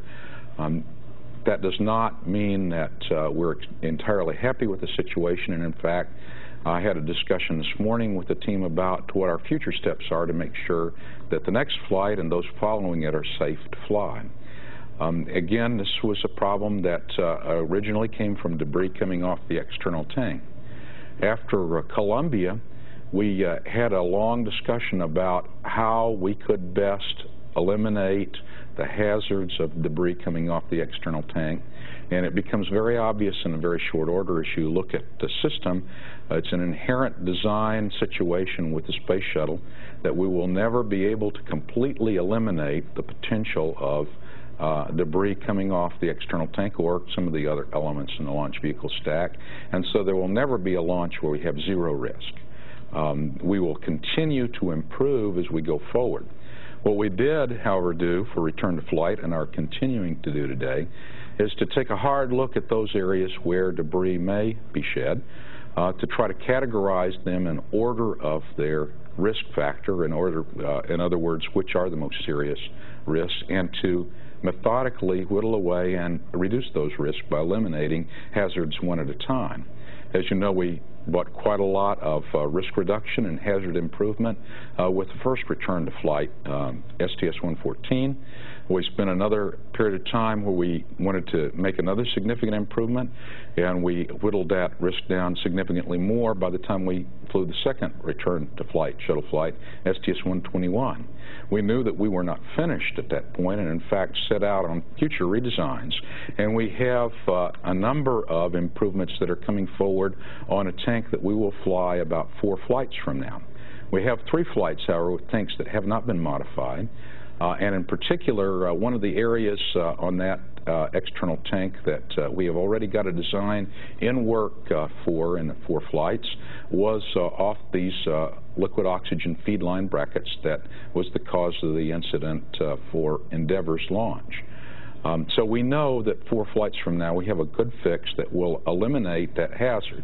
And the discussions I've been having with the team in, in the last few days are what will we do with the next three tanks uh, the three flights until we get that final design into the fleet to, again, mitigate and reduce the hazard. Today we had about a two-hour telecon with the uh, tank designers and the folks that are uh, working on five different uh, options to improve uh, the situation on, uh, on the next tank and those coming up. we will expect that there will be some readjustment to our schedule uh, as we go through those options. However, I believe that, uh, based on the discussions we've had, that our impacts to the next flight in terms of the actual launch date of October 23rd will be small. We think we have plenty of time to uh, evaluate some changes and, in fact, implement them if we feel that they are well justified. And, and again, we want to make sure we do these things right. You never want to head off to make a modification to a uh, space launch vehicle without doing a great deal of testing to make sure you make all those changes right. Um, and uh, still be able to make the STS-120 launch as the space station program would like us to on or about October 23rd. We uh, are also looking at the further um, um, implications to the next flight because as we take time to uh, prepare this tank, it does impact the schedule on the subsequent flight and we would really like to hold that flight in the December launch window if we can do it safely. And I think that's the clue. As we look to the manifest ahead of us, we can expect that there will be challenges, whether they're from hurricanes or from equipment that uh, is causing us a problem on board the shuttles. However, we do have a, uh, an amount of time ahead of us, a, a, skilled workforce, and a number of options that will allow us to fly the manifest as it's been laid out and complete the International Space Station with a significant uh, margin of uh, time before the uh, date that the President and the Congress have directed us to retire the Space Shuttle vehicle. And that's all in support of the Constellation program, where we will have a new launch vehicle that will be able to put Americans into space. Uh, we presume and, and, are planning for to do that much safer than we can do it with the Space Shuttle now. Uh, the Space Shuttle is a remarkable launch vehicle, and, and we uh, are very proud of what we do with it, but we are also aware of her shortcomings, and we want to use uh, the Space Shuttle and its capabilities judiciously and as safely as we possibly can until the date that we have a new uh, launch system online. So with that, I'll turn it over to Mike Suffredini and let him tell you a little bit about the space station program. Well, good afternoon. Uh, Wayne said it right. Uh, 13A.1 was a completely successful mission from our perspective as well. Uh, we have said on a number of occasions that the next year from the time that the Increment 15 crew launched uh, in April, uh, um, last April, to the launch of the uh, Japanese laboratory next April that we had a very a busy period in the ISS program and a lot of change would occur. 13A.1 was a critical mission for us uh, for a number of reasons. Of course, it brought up the S5 uh, truss, which was necessary to be able to install uh, the, the last set of solar arrays that come up uh, uh, November of 08 about uh, now. We also brought up a logistics uh, pallet that was installed successfully, and at that point, we actually utilized for our first time our external attachment system. We refer to it as, as UCAS, but this is the first use of the external attachment system on the uh, on uh, S3. It's the first use at all on orbit. We have six of those we plan to utilize, and this was the first use. It was completely successful. Uh, and we added on total for the program, at this point in the program, we were almost uh, half a million pounds on orbit, and that's the, that makes the ISS by mass about 60% complete. We had a number of other successes during the mission. Of course, we, we talked to you extensively during the last flight because we dealt with a computer issue or a number of computer issues uh, on the Russian segments. Turned out to be related to a component referred to as BAC3. Uh, that was brought up on the, on the on a progress that arrived subsequent to um, I'm sorry prior to the um, uh, the uh, shuttle arrival and however, we, we decided to wait until the uh, shuttle had arrived and could maintain attitude control if necessary to do the, the replacement of the Bach 3. Bach 3 turned out to be a very um, complicated procedure. It took quite a few uh, crew hours to do the uh, change out, uh, but this crew completed it successfully and, uh, and we're marching through the checkout process uh, to date, it's completely checked out and, uh, and its functions. Um, later this week, I believe we intend to go ahead and, and uh, remove the little jumpers that we had on the computers and, and uh, plug them in and be in a completely nominal configuration. So that all went very well. In addition to that, one of the things that we uh, talked about wanting to check out were other means for transferring attitude control both from the shuttle and from the, and from the uh, Russian segment over to the CMGs. Uh, we still got quite a bit of work to figure out how to do that um, from the Russian segment directly uh, to the CMGs, or I should say, um, when the Russian segment cannot control the attitude, having the CMGs pick up attitude control. But one of the other things we wanted to check out was the ability to hand over attitude control directly from the shuttle to the CMGs, and we tested that uh, during this flight, and that was also completely successful. Of course, the fact that we had four CMGs on orbit all operating well uh, helped that out immensely. Uh, so from our perspective, we, uh, we're, we're, completely satisfied with the mission. Our O2 tanks now are full as a result of uh, transferring 77 pounds of O2, and that's an important position for us to be in uh, as the rest of the assembly takes place. Uh, we need to make sure we're in a posture to have full tanks when the shuttle finally retires and that helps us logistically for the long term. We transferred as much nitrogen as we possibly could. We, we reached equilibrium in a pressure, so that makes us as full as we can make those tanks. And uh, almost a 1,000 pounds of, of water were transferred. So, so from our perspective, completely successful. It met every objective we needed to to continue on with the assembly um, that we steps that we had talked about needing to do. So from this this point, what do we need to do? The, the first thing we plan to do is next week we plan to move, uh, we refer to it as PMA3.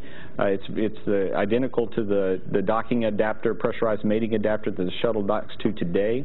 It currently resides on the port side of node 1. So we have to move it to the nadir side of node 1 so we can install node 2 on the port side when it arrives uh, during the STS-120 or the 10A mission that we refer to it as in, uh, later in October. So that will occur uh, next week. It's a fully uh, robotic operation. Uh, and then the next thing we plan to do, although it's not has a, does not have a tight schedule right this second, is to uh, go ahead and retract the FGB solar arrays. And this will be the first time that we retracted these arrays. It will hopefully be the only time we retract these arrays. They will remain retracted. They have to uh, be retracted to clear uh, the way for the um, for the big cooling radiators. As you know, we have one radiator on each side uh, uh, of the truss deployed for the central system, and we have to deploy um, additional uh, radiator on each side. And when we do that, because of the rotation swing uh, that it carves out in space, we have to we have to retract the FGB solar arrays uh, so that these these big radiators can pass uh, through their arc and not interfere with those solar arrays. That was always in the plan in the, in the assembly, and it's just a significant step that we have to take. And then we move, uh, we move the Soyuz, we relocate the Soyuz and uh, open up the port so that Peggy and Yuri uh, can arrive uh, as the Increment 16 crew. Their launch, of course, currently is scheduled for October 10th. Um, and then, of course, as Wayne made mention to, the, the next step of that is beginning in earnest with the, uh, the assembly tasks necessary to add the uh, international par partners pressurized laboratories, and that's the launch of Node 2.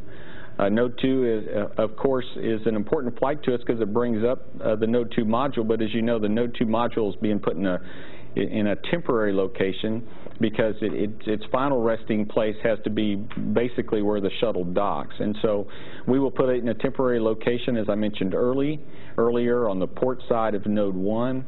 Uh, when the shuttle leaves, then we have uh, a number of, uh, a number, we have two very uh, significant EVAs that occur after that point and robotic operations that will then move the PMA2, the mating adapter that the shuttle docks to. We will remove that, install it on node 2, and then we'll grab the, the PMA2 node 2 set and move them to the forward part of the lab, and that will become the new docking port for the shuttle. Uh, and then, of course, we have a number of connections to mate, including uh, ammonia QDs and power QDs, in order to activate Node 2. All of that needs to occur before we launch the Columbus uh, laboratory, the European Laboratory Columbus, uh, which is currently scheduled for launch uh, on or about the 6th uh, of December. Um, and so uh, that is a very tight period of time for us from an increment perspective. It also marks the last set of planned EVA tasks that we have set for the stage. So uh, any subsequent EVAs on the U.S. segment that, that get planned will be planned uh, for contingencies, but it's, it's going to be our attempt to try to minimize that uh, because of the significant amount of crew time involved in, in EVAs and try to start now carving more time for research on board ISS. And of course, after we get the Columbus module installed um, in about the February timeframe, we bring up a logistics module for the Japanese um, for the uh, Japanese Space Agency that will bring outfitting hardware for their uh, laboratory. In addition to that, the Canadians are bringing up their Dextre, which is a hand, if you will, for the end of the robotic arm, so then we can begin fully automated uh, change out of some of the external ORUs on orbit. And so that's a very significant contribution uh, to the overall uh, program. And finally, then in the late April timeframe, uh, we bring to orbit the largest uh, pressurized laboratory ever flown to space, uh, and that's the, the Kibo module uh, that JAXA has developed and is currently uh, at at KSC in the SSPF uh, completing its final checkouts. And with that, we will have 15 nations represented on board the ISS um, and, and have, from this point, almost doubled the, uh, the volume of the International Space Station. And of course, in the middle of doing all that, we have the, the inaugural flight of the uh, autonomous transfer vehicle, the European-developed uh, uh, cargo vehicle that will will uh, launch in uh, hopefully late January, early February, depending on when we can get it in the in the flight plan, and uh, and dock some 14 days or so after it launches. So, uh, so we still we're in we're we're in the early stages of a very busy period. We talked about, uh, but 13A of course continued what we consider a very successful trend uh, to get us to the point where we have all the partners represented on board ISS. And uh, that's all my opening remarks. Okay. Thanks a lot, Mike. Wayne. We have uh, questions here in Houston, quite a number of reporters at NASA headquarters and down at the Kennedy Space Center, and we'll start here with Gina. Gina Sunseri, ABC News for Wayne. Any, have you heard anything from those uh, wing leading edge sensors that you know have been so on and off again? How are those performing on this? Any false alarms or any alarms at all? Well, you know, it's interesting you asked that question because uh, we had an improvement in that system. Those sensors uh, we put on to uh, do two things for us. One, to detect impacts that might occur during ascent, and of course, we didn't have any impacts during ascent on the wing leading edge but also uh, micrometeoroid or orbital debris that might impact uh, those wing leading edge panels during the on-orbit part of the flight. Our testing indicates that those uh, accelerometers, should we be hit, would ring uh, with the force indicating a large impact, and several of them would uh, would uh, go off if we actually had damage. Beginning with the first flight of those wing leading edge sensors, we found a phenomenon that occasionally you pick up a small ping on a sensor. Uh, we increased our power capability on those sensors. They don't monitor every panel 100% of the time. So we were able to monitor on this flight with a new power system more panels for more time. Uh, but even given that, there have been a larger number of those little pings on Endeavour than uh, on any previous flight. Uh, we just got finished doing an end-of-mission in-depth inspection with the orbiter boom sensor system, all the leading edge panels in the nose cap, to ensure there is no damage to those uh, those panels, and there is none. So these pings are still a little bit of a mystery to us. Uh, we think it might have to do with thermal cooling of the vehicle. Uh, you know, if you bring your car home and turn it off and you sit around and listen to it after you after you turn it off and it cools down, you hear pops and pings, and perhaps it's associated with those kind of things, or they may be smaller particles that don't cause damage. Um, it's a little bit of a mystery to us. We got a large number of small pings, none of which were at the level that we think uh, would indicate damage, and in fact, when we did the final inspection, there was no damage, and it's all clear to re-enter. So we think it's a useful tool, um, but it has caused a little bit of a mystery for the engineers to look into is what's causing these very small um, pops and pings uh, in the vehicle. Jeff? Jeff Franks, the Reuters. Wayne, you, you start off by mentioning that this is a very productive flight. I, I found myself wondering, given all the sort of side issues that came up with this storm, et cetera, et cetera, where, where would this one rank in the pantheon of challenging, challenging uh, shuttle flights for you guys? You know, um, we were talking about that earlier. We always used to categorize the Hubble repair missions, uh, Hubble servicing missions, as the most challenging sets of flights that the shuttle program had ever embarked on or would ever consider doing. And here we've done as many EVAs, transferred more equipment, carried larger piece parts up than we've ever done on the Hubble servicing mission. So we're, we're talking the top 10%. But we're on a high end of the curve here in terms of complexity uh, number of operations, uh, number of EVAs. Um, so this is a this has been an extraordinarily productive mission, and, and I've got to tell you all the analysis um, that you have been hearing about, I think, in the news has been separate from the team that's actually executing the flight. So yes, we keep the flight control team informed, and they're a part of this whole discussion. Yes, we keep the astronaut crews informed, and they're they know what's going on, but they're executing the flight, and so all these engineering analyses and tests that are going on are are uh, are done by a little bit different part of the organization, and it doesn't get in the way of the productivity of the flight, which is how we'd like to have it because at the end of the day, when you come to the conclusion that we don't have to really do anything on orbit, take away time, put people out to do repairs and so on and so forth, we have maximized the amount of work that we can get done on the flight.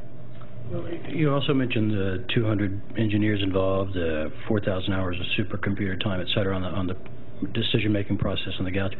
I found myself wondering how much extra that might have cost, if anybody has any idea you know, we laid this whole plan in as a part of the price of doing business for the Space Shuttle program. So it's not extra. And, um, and I think it's important that we understand that uh, this vehicle in its inherent design and its inherent vulnerabilities requires this kind of care and attention to make sure that it flies safely and is successful and we do return our shuttle crew, crews home safely. So I, I, don't consider this work to be outside the ordinary. This was uh, something that we were prepared for uh, and we had the workforce on board and, and ready to accommodate it. Okay, let's go to NASA headquarters for questions and then down to the Cape.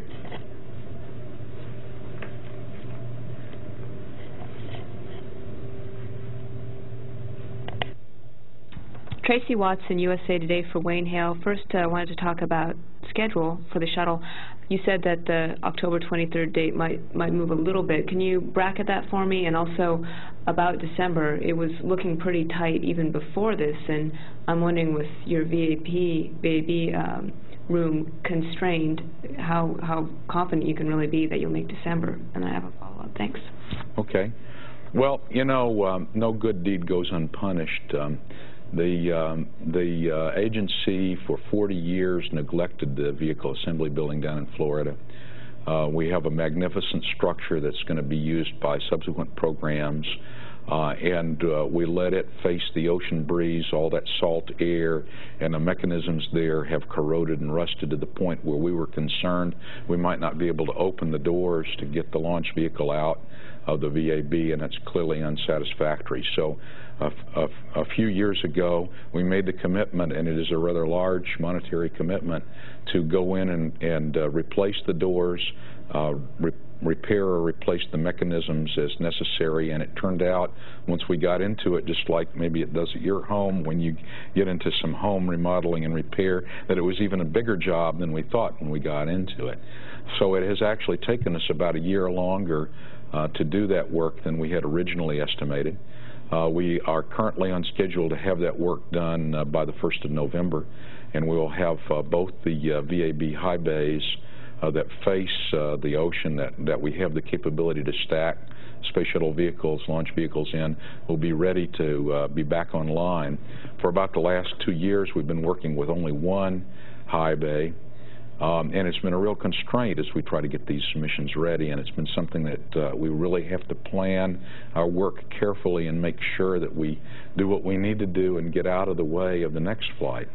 Uh, in fact, uh, the next flight coming up, STS-120, we uh, plan to roll out well in advance of the time that it really needed to be on the launch pad for an October 23rd launch um, so that we would be out of the way and allow the stacking to go forward for the flight subsequent to that, um, the December flight.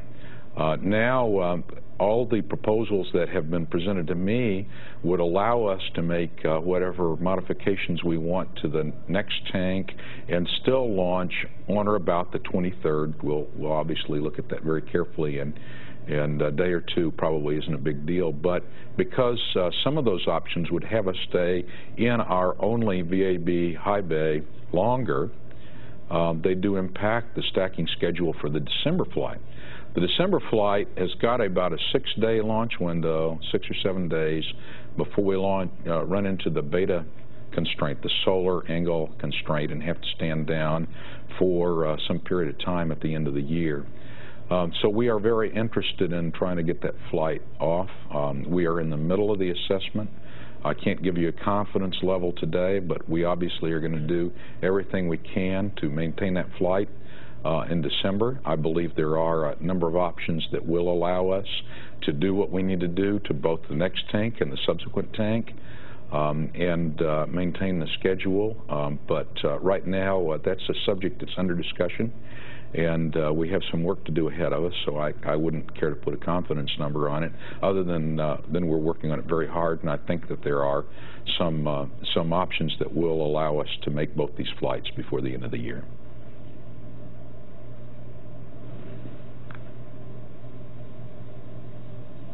Thank you. A quick follow-up. What is that December launch window? What are the dates on that? And also, could you potentially see an impact to the February launch as well? Well, you know, um, the, the, launch window, we're currently planning to launch on December 6th. My recollection is it closes on the 13th or 14th for um, solar constraints. Um, and uh, as to subsequent or downstream impacts, we're going to see how those fall out. I think we do have quite a bit of time uh, in the end of the year before we're ready for the Valentine's Day launch that we're planning for next year.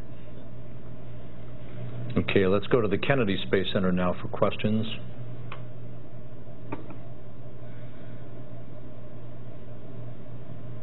Marcia Dunn of the Associated Press with a question for Wayne. Wayne, could you help me understand why you would continue to launch shuttles when you knew you had a problem with the bracket foam and that the titanium bracket fix was still far off? Um, I'm just wondering why the temporary modifications that you're looking at now were not considered and implemented uh, last year.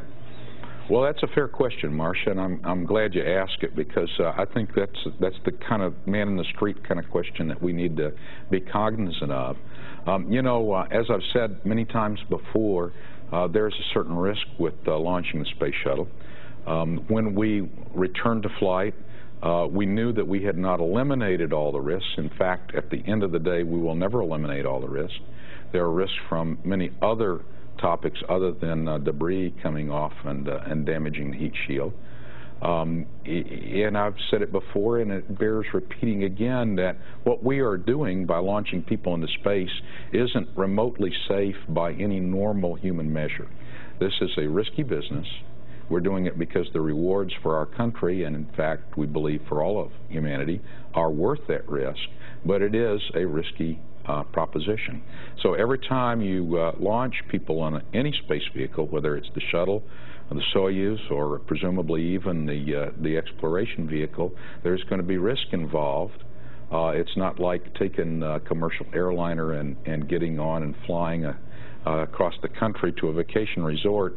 There's a great deal more risk involved because the energies, the technologies, and so on and so forth are uh, are are several orders of magnitude more difficult than uh, ordinary everyday experience. Um, so we make improvements as we can. Uh, it becomes a uh, risk trade every time. You look at what you've got today and you weigh it against the other risks that are in the system. Um, we had a rather interesting debate, um, some of which I saw that was going on among members of the Aerospace Safety Advisory Panel on uh, relative risks and uh, how many uh, um, moderate risks add up to be a serious overall risk. I would tell you there are a number of moderate risks in the Space Shuttle launch program as there are on any other launch vehicle. Um, so we have to weigh those risks very carefully. Some of these uh, changes take a number of months to years to go through the process. Uh, we have these tanks that uh, have been built and are effectively ready to fly. Uh, and yes, one option would be to, to take those tanks apart uh, and install the new brackets on them. Uh, and that would uh, that would effectively guarantee we could not fulfill the manifest that's been laid out by the time we want to retire the shuttle. So the question is then, uh, have we reduced the risk enough or commensurate with other risks in the program? And that, I think, is the discussion we're going to have over the next couple of months as we get ready to launch the next vehicle. Um, one of the things I need to remind everybody is when we talk about a discussion, uh, like the discussion we had over the tile damage or the discussion that we're going to have over the, the improvements to the external tank, is this is not a debate in the sense that uh, the United States Senate, say, has a debate. This is a technical discussion. Um, the reason it takes a while is because you want to have the technical discussion informed by analysis, which sometimes takes a while to do. Certainly with test data, which certainly does take some time to do. Um, and it's not a debate about ideas or philosophies or thoughts. It's, it's an engineering debate that says, have we reached certain levels which we have agreed to in advance of safety um, and uh, engineering effectiveness um, that is informed by uh, hard calculation and, uh, and I say grounded in, uh, in tests and real world uh, analysis.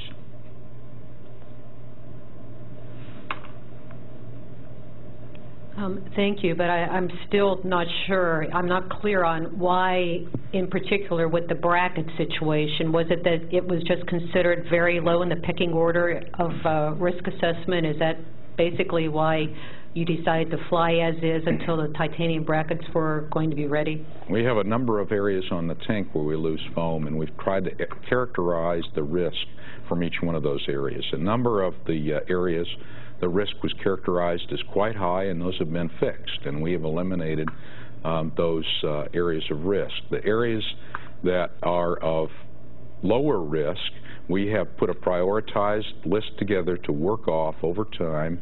We don't have the resources, and, and frankly, it's not wise to make a huge number of changes all at once.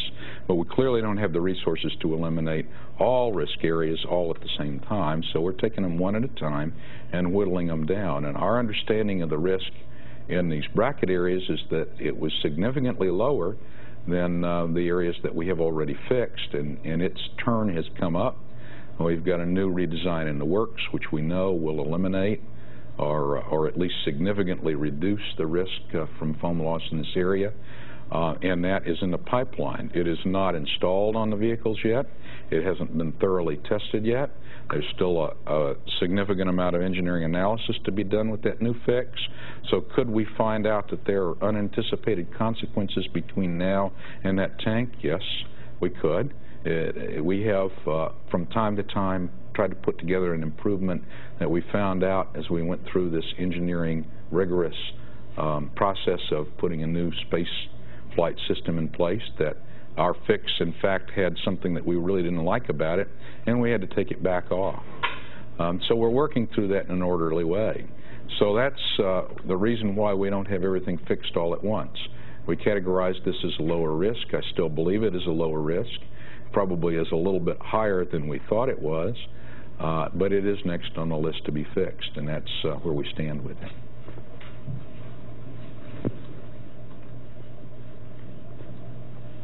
Hi, it's Mark Carreau from the Houston Chronicle. And in your uh, opening remarks, you mentioned a handful of, of um, safety modifications that you could make to kind of stay on your schedule. I wonder if you could discuss those and say how they might fit into your plan to keep the launch schedule where, where you had it before the uh, Endeavour flight. Thanks.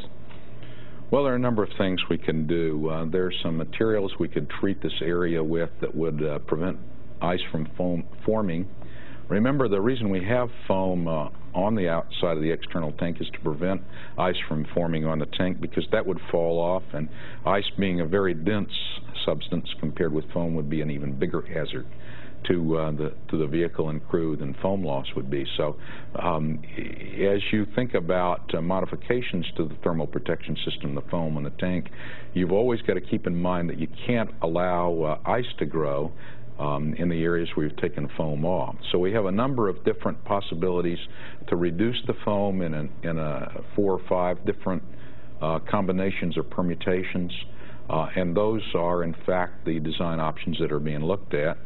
I didn't bring a, a detailed list of those with me today, but they all involve some reduction in the foam around the top of this little bracket where we lost approximately uh, three tenths, uh, no, pardon me, three one hundredths of a pound of foam um, and had this unlucky bounce that uh, hit the strut and bounced up at the bottom of the orbiter.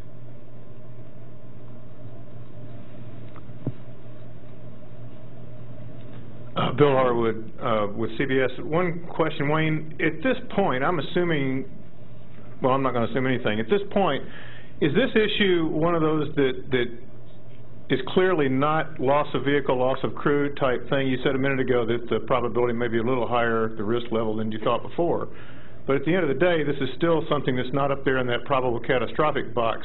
Am I correct in that, or is that something that's yet to be visited? And I was just wondering how that plays in the decisions to, you know, what you do and when you have to do it. I mean, because obviously something that doesn't threaten the crew is different than something that does. And I just wanted to know where that stood.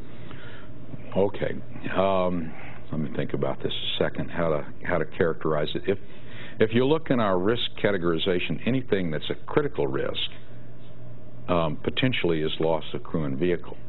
And so potentially uh, damage to the thermal system on the bottom of the shuttle could lead to loss of crew and vehicle. I mean, that's obvious. So we take a look at the risks and how likely they are to, in fact, result in that um, kind of a problem. Uh, we have, over the last several years, uh, worked very hard to understand how foam comes off, foam or ice or other things might come off the external tank or other parts of the launch stack. Um, when it might come off, because as you know, if it comes off after we're outside the atmosphere, there's no driving force, therefore there is no uh, real uh, hazard to the uh, to the vehicle.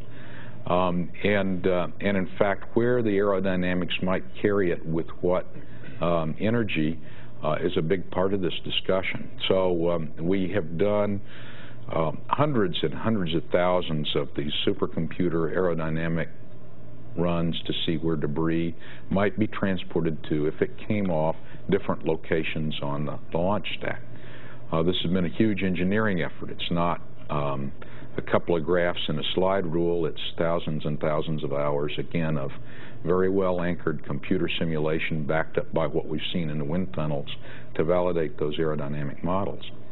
Um, and the characterization of this risk was rather low of this particular piece part coming off and causing a hazard to the shuttle.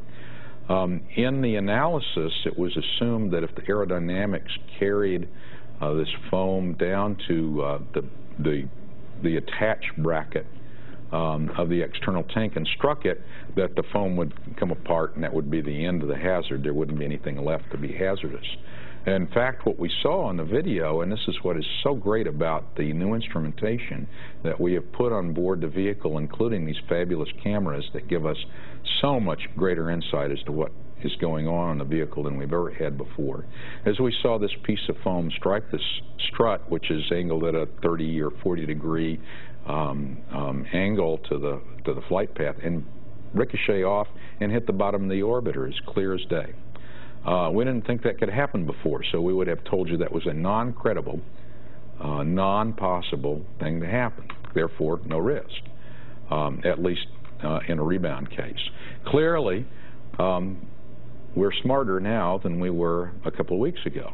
And we are looking very hard at those particular locations and those particular aerodynamic paths that might lead this uh, foam or uh, foam and ice uh, combination to hit the strut and bounce off and strike the underside of the orbiter. So we have a more sophisticated um, risk analysis in work. That's why I think the risk is probably higher than we had it characterized before. In fact, uh, that analysis is not yet complete, and that will weigh into our discussion as to how much to fix, how uh, long we might need to take to fix the problem, or, uh, or how little, as a matter of fact. So all of that is in play at this time, and, and let me just tell you, this has become standard work for the shuttle program, the external tank project, and for our systems integration group that does all of this aerodynamics work. So uh, it's just another day at the office. I, I uh, wish I could give you a great quotation or something, Bill, but uh, this is the kind of work that we're into if we want to fly this vehicle out for the rest of its um, manifest.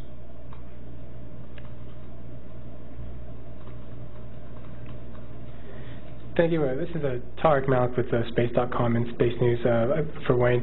Wayne, uh, you mentioned that you're still looking at October 23rd for 120, and I was just hoping maybe you could um, you could get into more detail. How much flexibility do you have uh, in terms of extra days to to kind of make the decision on what what fix to make?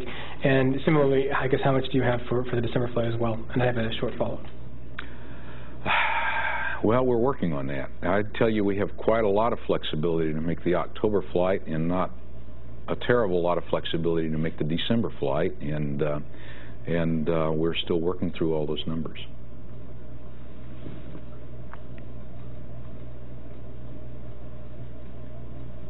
you or, or from Mike, I was just uh, to, to, look at the mission that, that, that is currently underway now.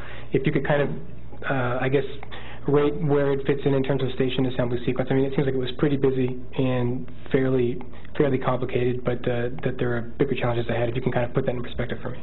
Thank you.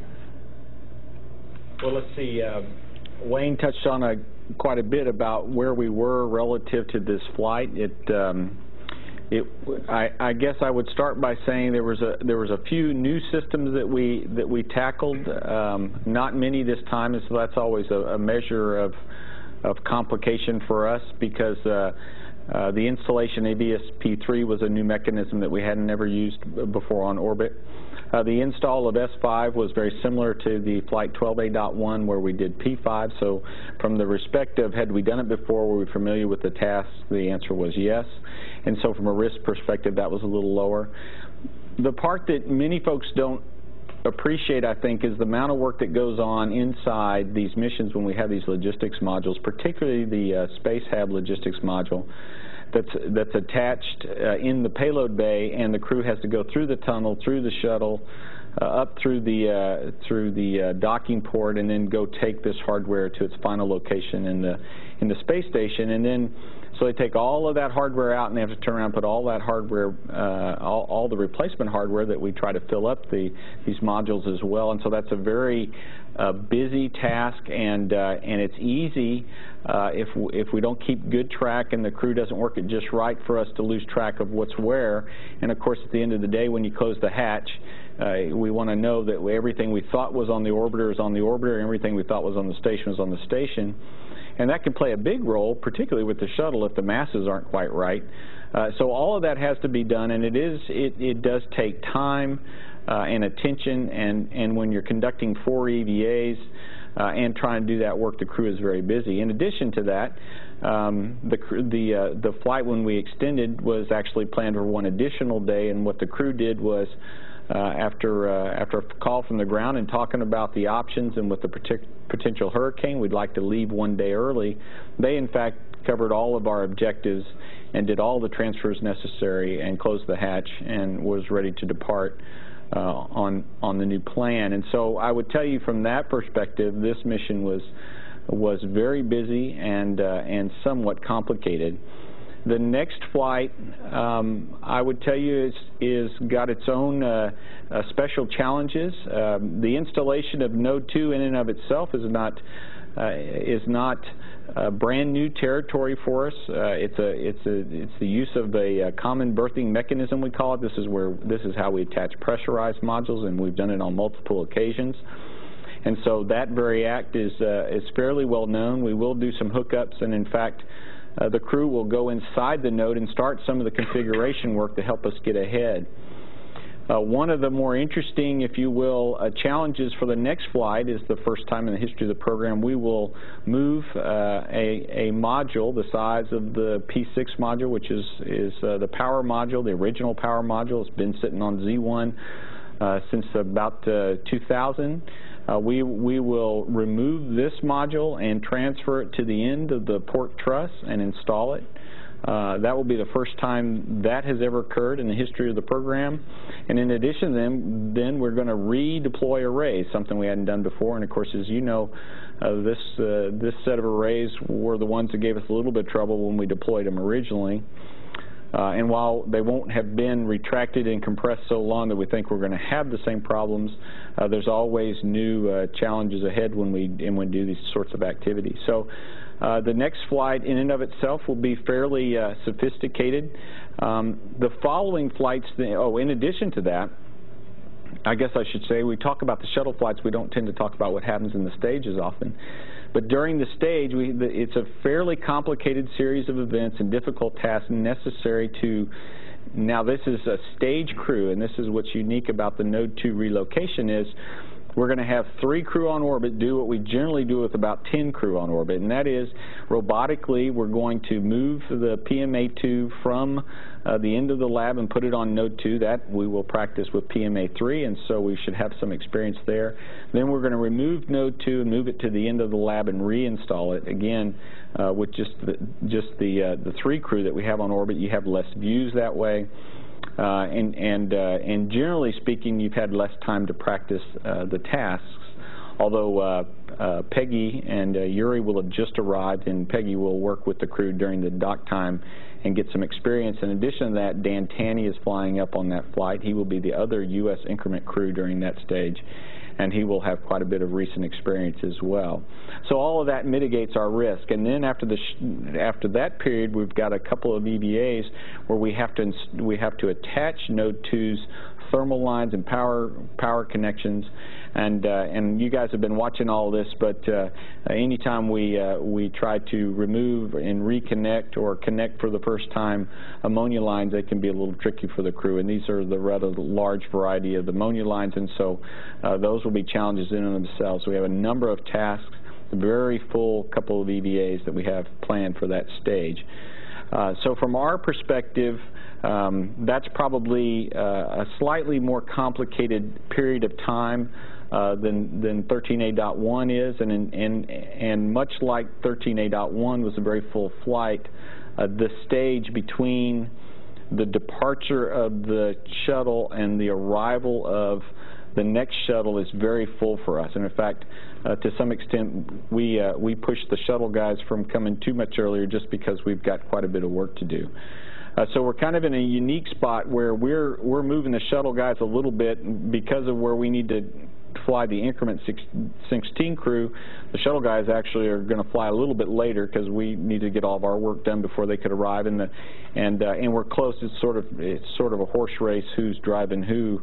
Uh, when we get to the end uh, to early December, but the crew is extremely busy during that period of time trying to get all the reconfigurations done necessary uh, to to install Columbus, but more importantly, uh, let the shuttle dock. You can imagine the criticality of all this. We are, we are for that period during that stage, we will have no docking capability to the orbiter uh, while we do this reconfiguration, and so it's very important for us to, to get it get it done and get it done right. With all that said, the crews that are the, this increment crew that's been practicing this, Peggy has been on orbit um, uh, before. She's extremely capable. Yuri has been on orbit before.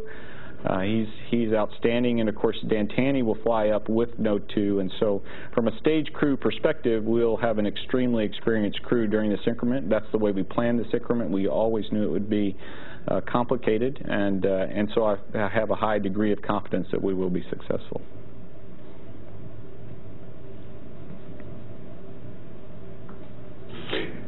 Uh, Todd Halverson, uh, Florida Today for Wayne Hale. Um, on the STS-120 flow, um, when do you need to make the tank to the SRBs in order to uh, to uh, make a launch attempt on October 23rd?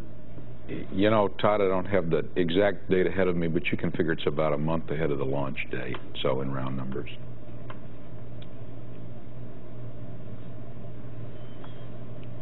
Thanks. And I'm wondering if you could discuss uh, any engineering analysis that might have to be done and by, by whom to verify that any of the uh, different modifications you're thinking about making would um, actually work. Well, the engineering analysis is going on uh, largely uh, with the external tank project, which is to say they've engaged the uh, Marshall Space Flight Engineering uh, folks, uh, as well as the Lockheed Martin people that work on the external tank. Of course, we have uh, a number of other engineers that will be uh, working in an independent uh, assessment capacity to make sure that that work is all done uh, to the high standards that we require for spaceflight.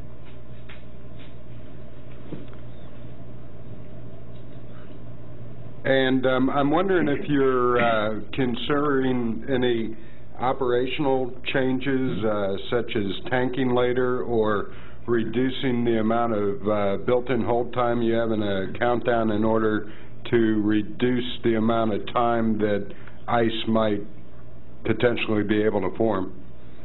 You know what, Todd, you probably have good sources. Uh, that was one of the topics that we discussed today that hasn't been finalized. You know, uh, coming into um, uh, the return to flight time frame, we added an extra hour from the time we start tanking the vehicle until launch. Uh, that does, uh, uh, theoretically at least, allow for the potential to grow extra ice. Um, this uh, loss of foam in this air bracket area is, uh, appears to be more frequent since we returned to flight than it was before. and so there is some discussion about some testing that would either validate this longer tanking time being a, a cause of concern, or uh, or perhaps um, just going back to the previous um, um, timeline as a matter of course. You know, again, it's uh, if it does prove out that having this extra hour in the launch timeline uh, is uh, is a factor in this, which we don't really know today. Um, it is a, probably a really good example of an unanticipated consequence of an improvement that you try to do to improve safety in other areas. Uh, I don't know that for a fact yet. The folks are off studying it. They have got a number of uh, environmental runs they want to do in the uh, in the thermal chambers to uh, see exactly what goes on. Um, but I would tell you in the final analysis that uh, the the uh, the inspection team that goes out on a launch pad on the uh, morning that we launched the vehicle looks very hard for ice. Um, there was very little ice or frost on this tank. Um, and uh, certainly we have launched with more ice uh, on these brackets than we saw on uh, on our launch two weeks ago. And so uh, there is at least um, um, that much uh, going against that theory. So it's uh, one of the options that's being discussed and may or may not be implemented at this time.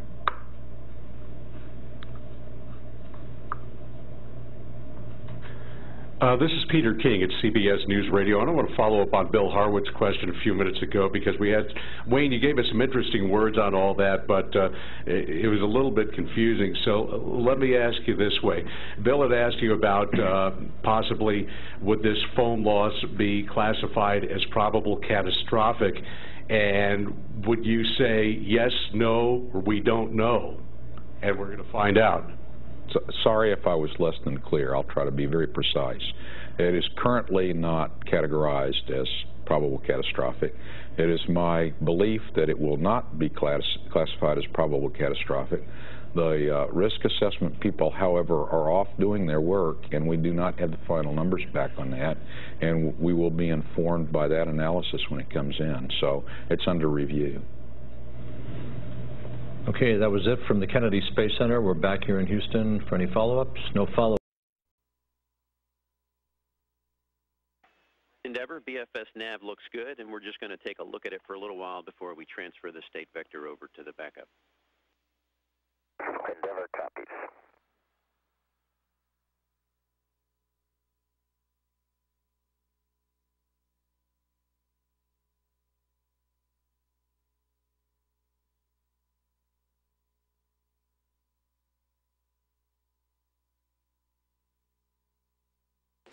Endeavour being commanded through another uh, roll reversal to bleed off excess speed before uh, converging back on track uh, toward the Kennedy Space Center. The banking motions uh, for the roll reversals creating the curved ground track as the space shuttle approaches the landing site.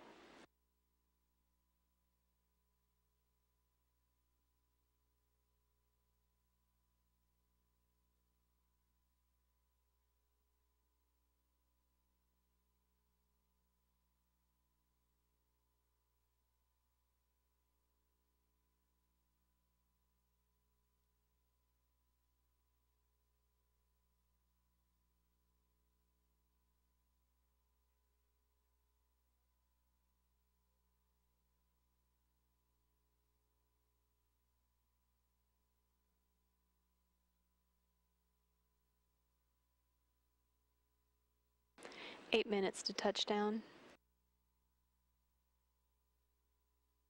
Endeavour flying at an altitude of 105,000 feet.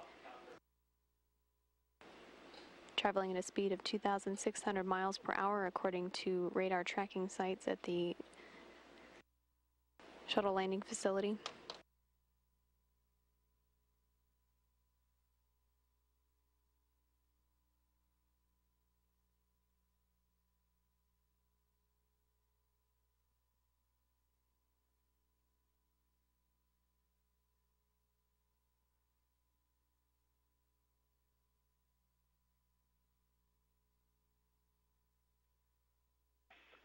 Endeavour, take air data.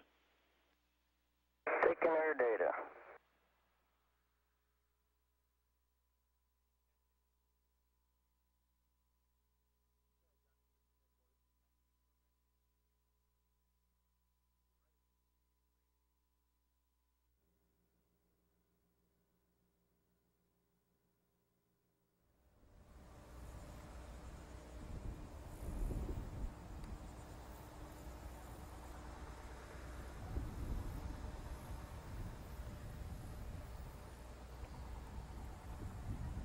This is Mission Control Houston from with a view from cameras at the Kennedy Space Center tracking the Space Shuttle Endeavour. Six and a half minutes to touchdown. High-speed tracking uh, from the landing site showing Endeavour traveling at an altitude of 82,000 feet, flying at a rate of 1,600 miles per hour. Endeavour uh, incorporating information from the air data probes being transferred through the air data transducer assemblies uh, to provide information about the atmospheric pressure and that uh, being transferred into the onboard navigation parameters.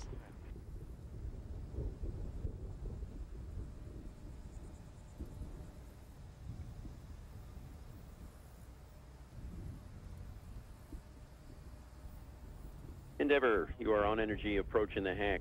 No change to winds and weather. You're a go for late chute for the crosswind DTO. Copy, late chute. And Endeavour, you can transfer the state vector to the backup.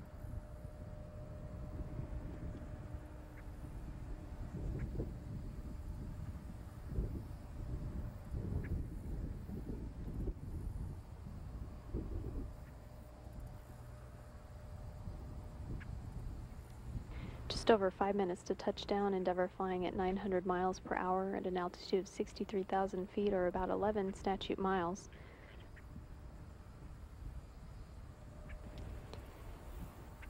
The uh, navigation information is being updated on board the Space Shuttle Endeavour. It's receiving updates uh, for proper alignment and speed, approaching the heading alignment circle, an imaginary cylinder in front of the runway and adjacent to its extended center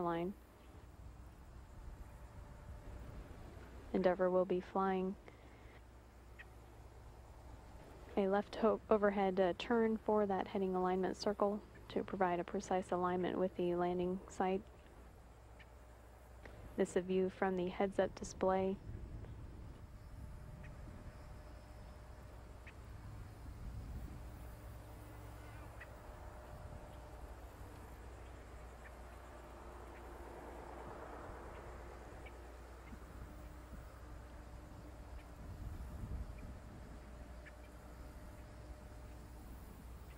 Endeavour's Commander Scott Kelly taking over the flight of Endeavour to move around the imaginary cylinder and set up for the final approach at the desired heading, altitude, airspeed, and rate of descent towards the Kennedy Space Center shuttle landing facility, just under four minutes to touchdown.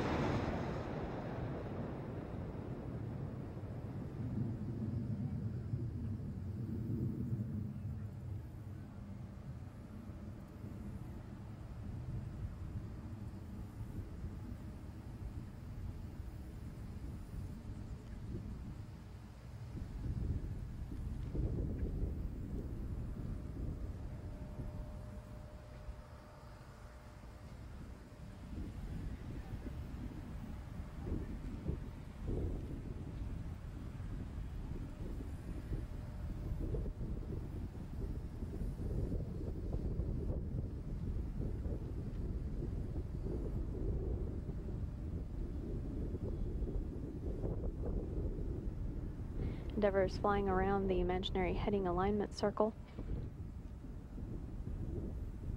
Just under three minutes to touchdown, Endeavour flying at an altitude of 28,000 feet at 500 miles per hour.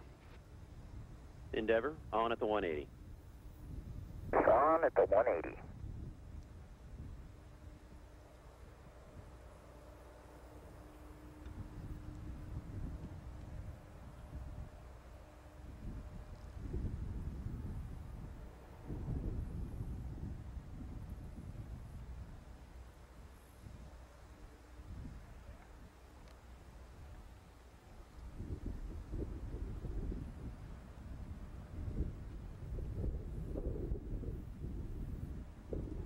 Endeavour, on at the 90. On at the 90. Endeavour continuing around the heading alignment circle, two minutes to touchdown, flying at an altitude of 17,000 feet, traveling at 400 miles per hour.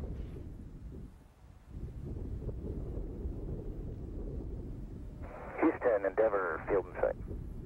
Houston copies.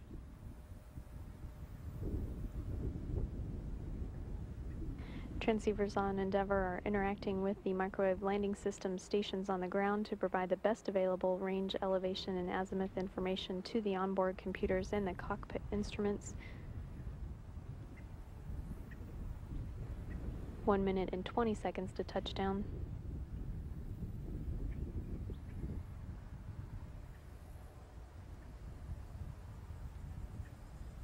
Endeavour's on path for the targeted uh, landing at the Kennedy Space Center.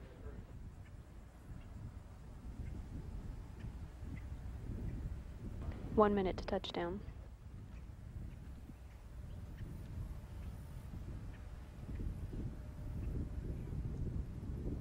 Endeavour's descent rate is 20 times higher and 7 times steeper than a commercial airliner on this final approach to the Kennedy Space Center landing facility.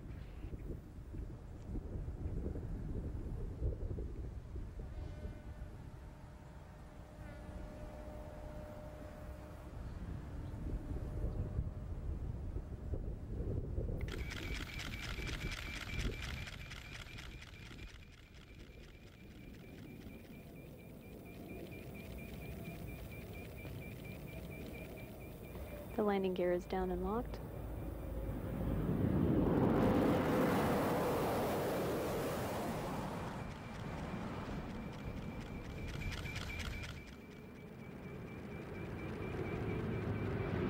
Main gear touchdown.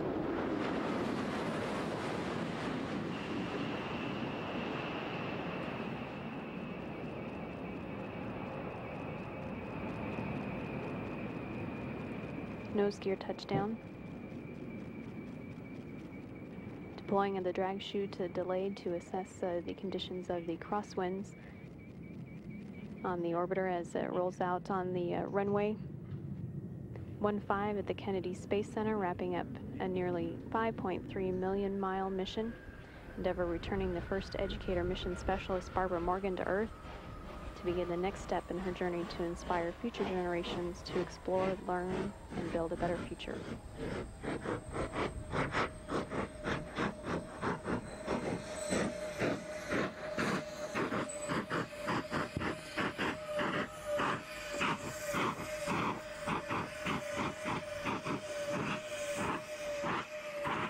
Houston, Endeavour, wheel stop. Roger, wheel stop, Endeavour. Congratulations, welcome home. You've given, given a new meaning to higher education.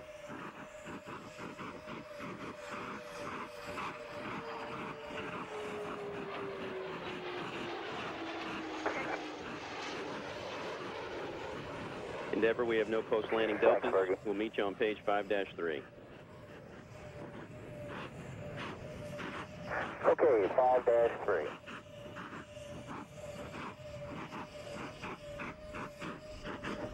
Endeavour has completed its 20th space shuttle mission, the 119th space shuttle mission in the uh, space shuttle program history, and the 22nd shuttle mission to the International Space Station. This is the 65th landing at the Kennedy Space Center.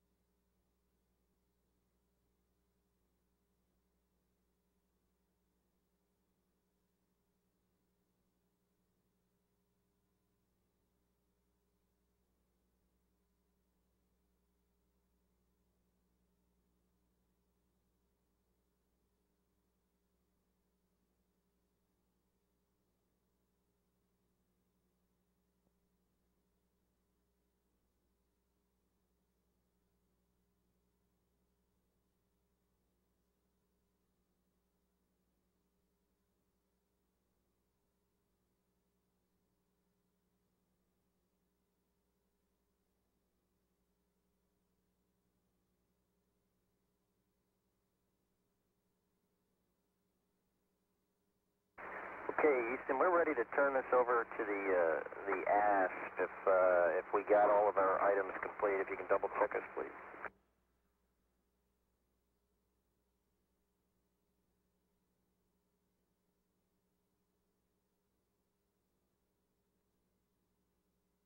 Okay, Scott, uh, we're ready for you. We uh, we don't have anything else from the room here. Nice job. Uh, we'll see you when you get back into town. Okay, thanks for all your guys' uh, help. Uh, this is obviously a huge team effort, and uh, you know we couldn't do it without you guys. Thanks. Sure thing, Scott. And if uh, Kay's on board, we'll take a com check from her. Here it comes. Houston, asked, com check.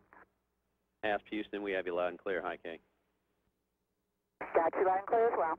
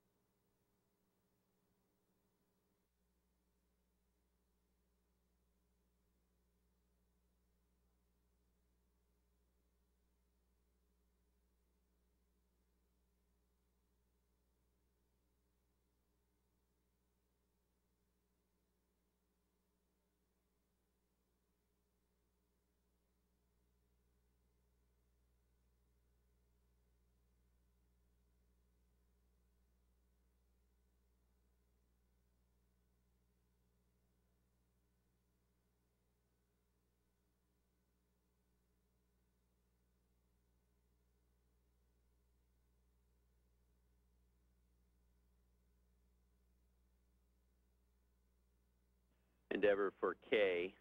Uh, at this time on uh, page 5-22, we'll we'll take ammonia reconfig, and it's uh, ASEC on.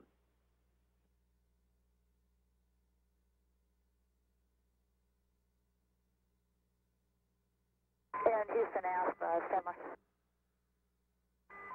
Houston asked, can we, uh, we're resetting that master line. And say again on uh, L1. Okay, uh, on page 5-22K, we'll take uh, ammonia reconfig. Roger that, 5-22, million reconfig. And when you get to it in uh, step three there, it's A sec on. Uh, copy, you want alpha secondary on. Good readback.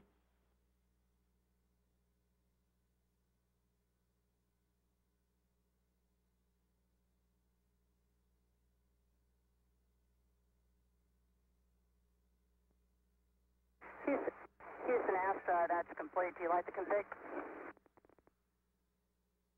Yeah, we do, Kay. Thank you.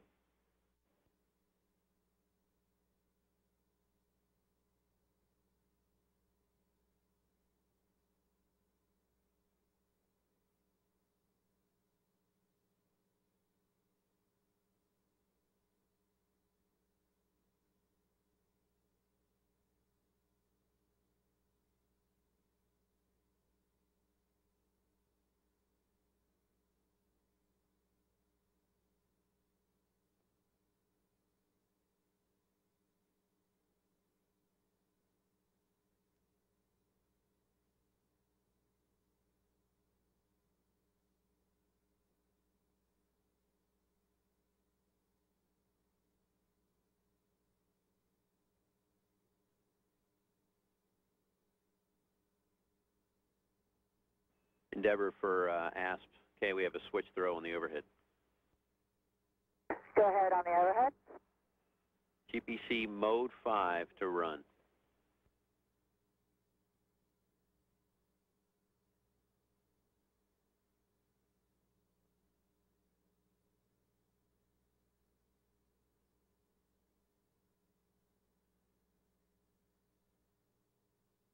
GPC 5 mode switch going from standby to run now. GPC 5 is in run. And I'm going to reset that master lamp. We see any good config, Kay? Thanks. Houston asked uh, the crew is uh, complete on egress, and uh, if uh, we can get a go to power off CCU power on the mid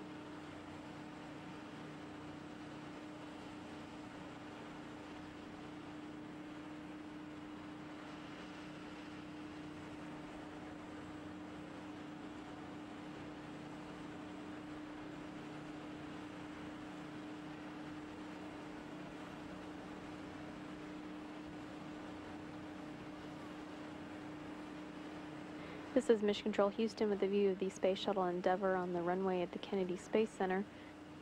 Endeavour's crew is inside the crew transport vehicle. The side hatch was opened about 15 minutes ago and allowing the crew to exit uh, the orbiter and move into the CTV, as it's called, the crew transport vehicle.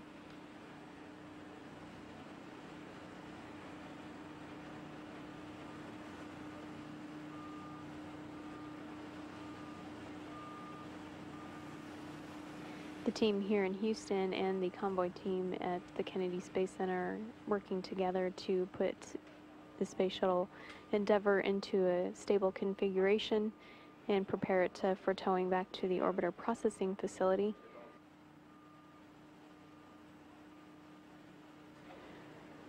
For more on that uh, process, we'll now turn over the coverage of the conclusion of the STS-118 mission over to the Kennedy Space Center. This is Mission Control Houston.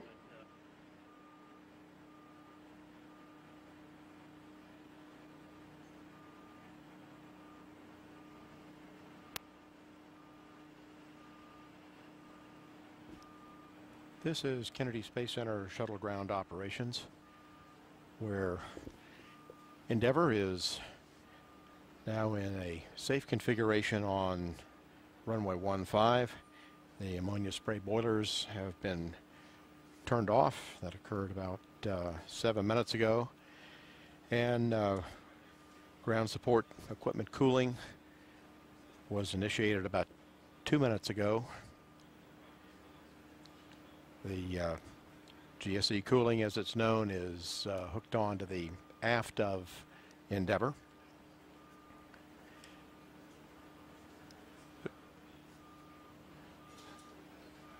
The um, hatch was opened about 106 Eastern Time, and about two minutes later, the uh, first three crew members uh, exited Endeavour.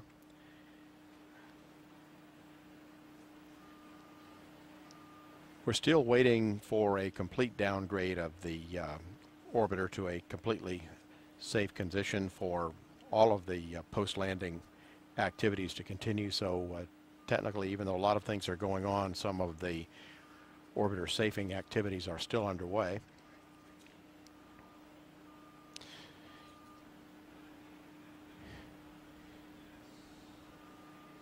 Astronaut Kay Hire, the astronaut support person, is uh, now the only astronaut on board Endeavour who will be taking care of all of the uh, post-landing activities in the cockpit now. uh, until time for towing off the runway, which uh, should begin somewhere around 4.30 Eastern Time this afternoon. It will be towed to Orbiter Processing Facility Bay 2